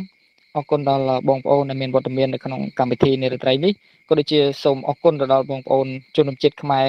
ទាំងអស់ជាទីគោរពស្រឡាញ់ហើយខ្ញុំសូមអស់ទូនាទីត្រឹមនេះហើយសូមក្រាបថ្វាយបង្គំលានិងជម្រាបលាបងប្អូនខ្មែរទាំងអស់ហើយសូមជូននាទីទូនាទីនេះទៅកាន់បងអ្នកសម្រួលកម្មវិធីដើម្បីជូនដំណឹងជាបន្តទៀតអរគុណសូមគោរពលា បាទអរគុណបងហើយអរគុណដល់វាគ្មិនកិត្តិយសយើងទាំង3និងអរគុណដល់បងប្អូនដែលបានចូលរួមនៅយប់នេះអញ្ចឹងមុននឹងបញ្ចប់ខ្ញុំសូមបញ្ជាក់ឡើងវិញថាបងប្អូនដែលមិនទាន់បានចុះឈ្មោះនៅឡើយសូមបន្តចុះឈ្មោះទៀតពីព្រោះកម្មវិធីយើងអត់មែនមានតែមួយហ្នឹងទេយើងនឹងមានវគ្គក្រោយបន្តបន្តតទៅមុខទៀតហើយហើយយើងនឹងជូនដំណឹងនៅក្នុងក្រុមនេះផងដែរ បាទហើយការគោរពតាមលក្ខខណ្ឌនៃកម្មវិធីយើងក៏នៅតែមានបន្តអញ្ចឹងបងប្អូនដែលអត់ទាន់បានសូមបងប្អូនបំពេញតាមលក្ខខណ្ឌទាំងការចុះឈ្មោះអីផ្សេងផ្សេងជាដើមទីចុងក្រោយសូមអរគុណដល់វេក្មិនកិត្តិយសយើងទាំងអស់ទាំងទាំង3រូបដែលបានអញ្ជើញចូលរួមនៅក្នុងកម្មវិធីយប់នេះហើយសូមជម្រាបលាទៅដល់បងប្អូនដែលបានចូលរួមទាំងអស់គ្នាផងដែរហើយយើងនឹងជួបគ្នានៅឱកាសក្រោយរាល់ព័ត៌មានផ្សេងផ្សេងដូចជាសំណួរ ហើយយើងនឹងសារទុកសំណួរខ្លះនៅទៅទៅសប្តាហ៍ក្រោយហើយព័ត៌មានផ្សេងផ្សេងនឹងជូនដំណឹងក្នុងនេះហើយខន្តីអភ័យទោសនៅកំហុសផ្សេងផ្សេងទាំងបច្ចេកទេសទាំងការរៀបចំហើយយើងមិនទាន់បានល្អដោយសេវាណាមួយក្តីសូមអធិស្ឋានផងដែរព្រោះយើងរៀបចំទៅទៅវគ្គទី1ហើយយើងយើងរៀបចំមកយើងនៅខ្វះចន្លោះសូមអធិស្ឋានផងដែរអញ្ចឹងសូម អរគុណសូមគ្រប់លានិងជម្រាបលាផងដែរបាទបាទសូមជម្រាបលាទាំងអស់គ្នាបាទណាកណាថ្វាយគុំលាបាទសូមថ្វាយបង្គំលាគុណម្ចាស់គ្រប់អង្គបងប្អូនទាំងអស់ដែលមានវត្តមាននៅយប់នេះសូមគោរពលារាត្រីសួស្តីសុបិនល្អទាំងអស់គ្នាអរគុណអរគុណអរបាទអត់មានអត់មានលាខ្ញុំទេបង បានលាទាំងអស់បងប្អូនទាំងអស់គ្នាបងប្អូនទាំងអស់គ្នាវគ្គក្រោយវគ្គក្រោយអត់ហៅទេតែមើលបាទបាទលេងហៅទេតែមើលទៅហៅអរគុណច្រើនណាស់ស្វែងគុំលាបដៃគុំគ្រប់អង្គនិងសូម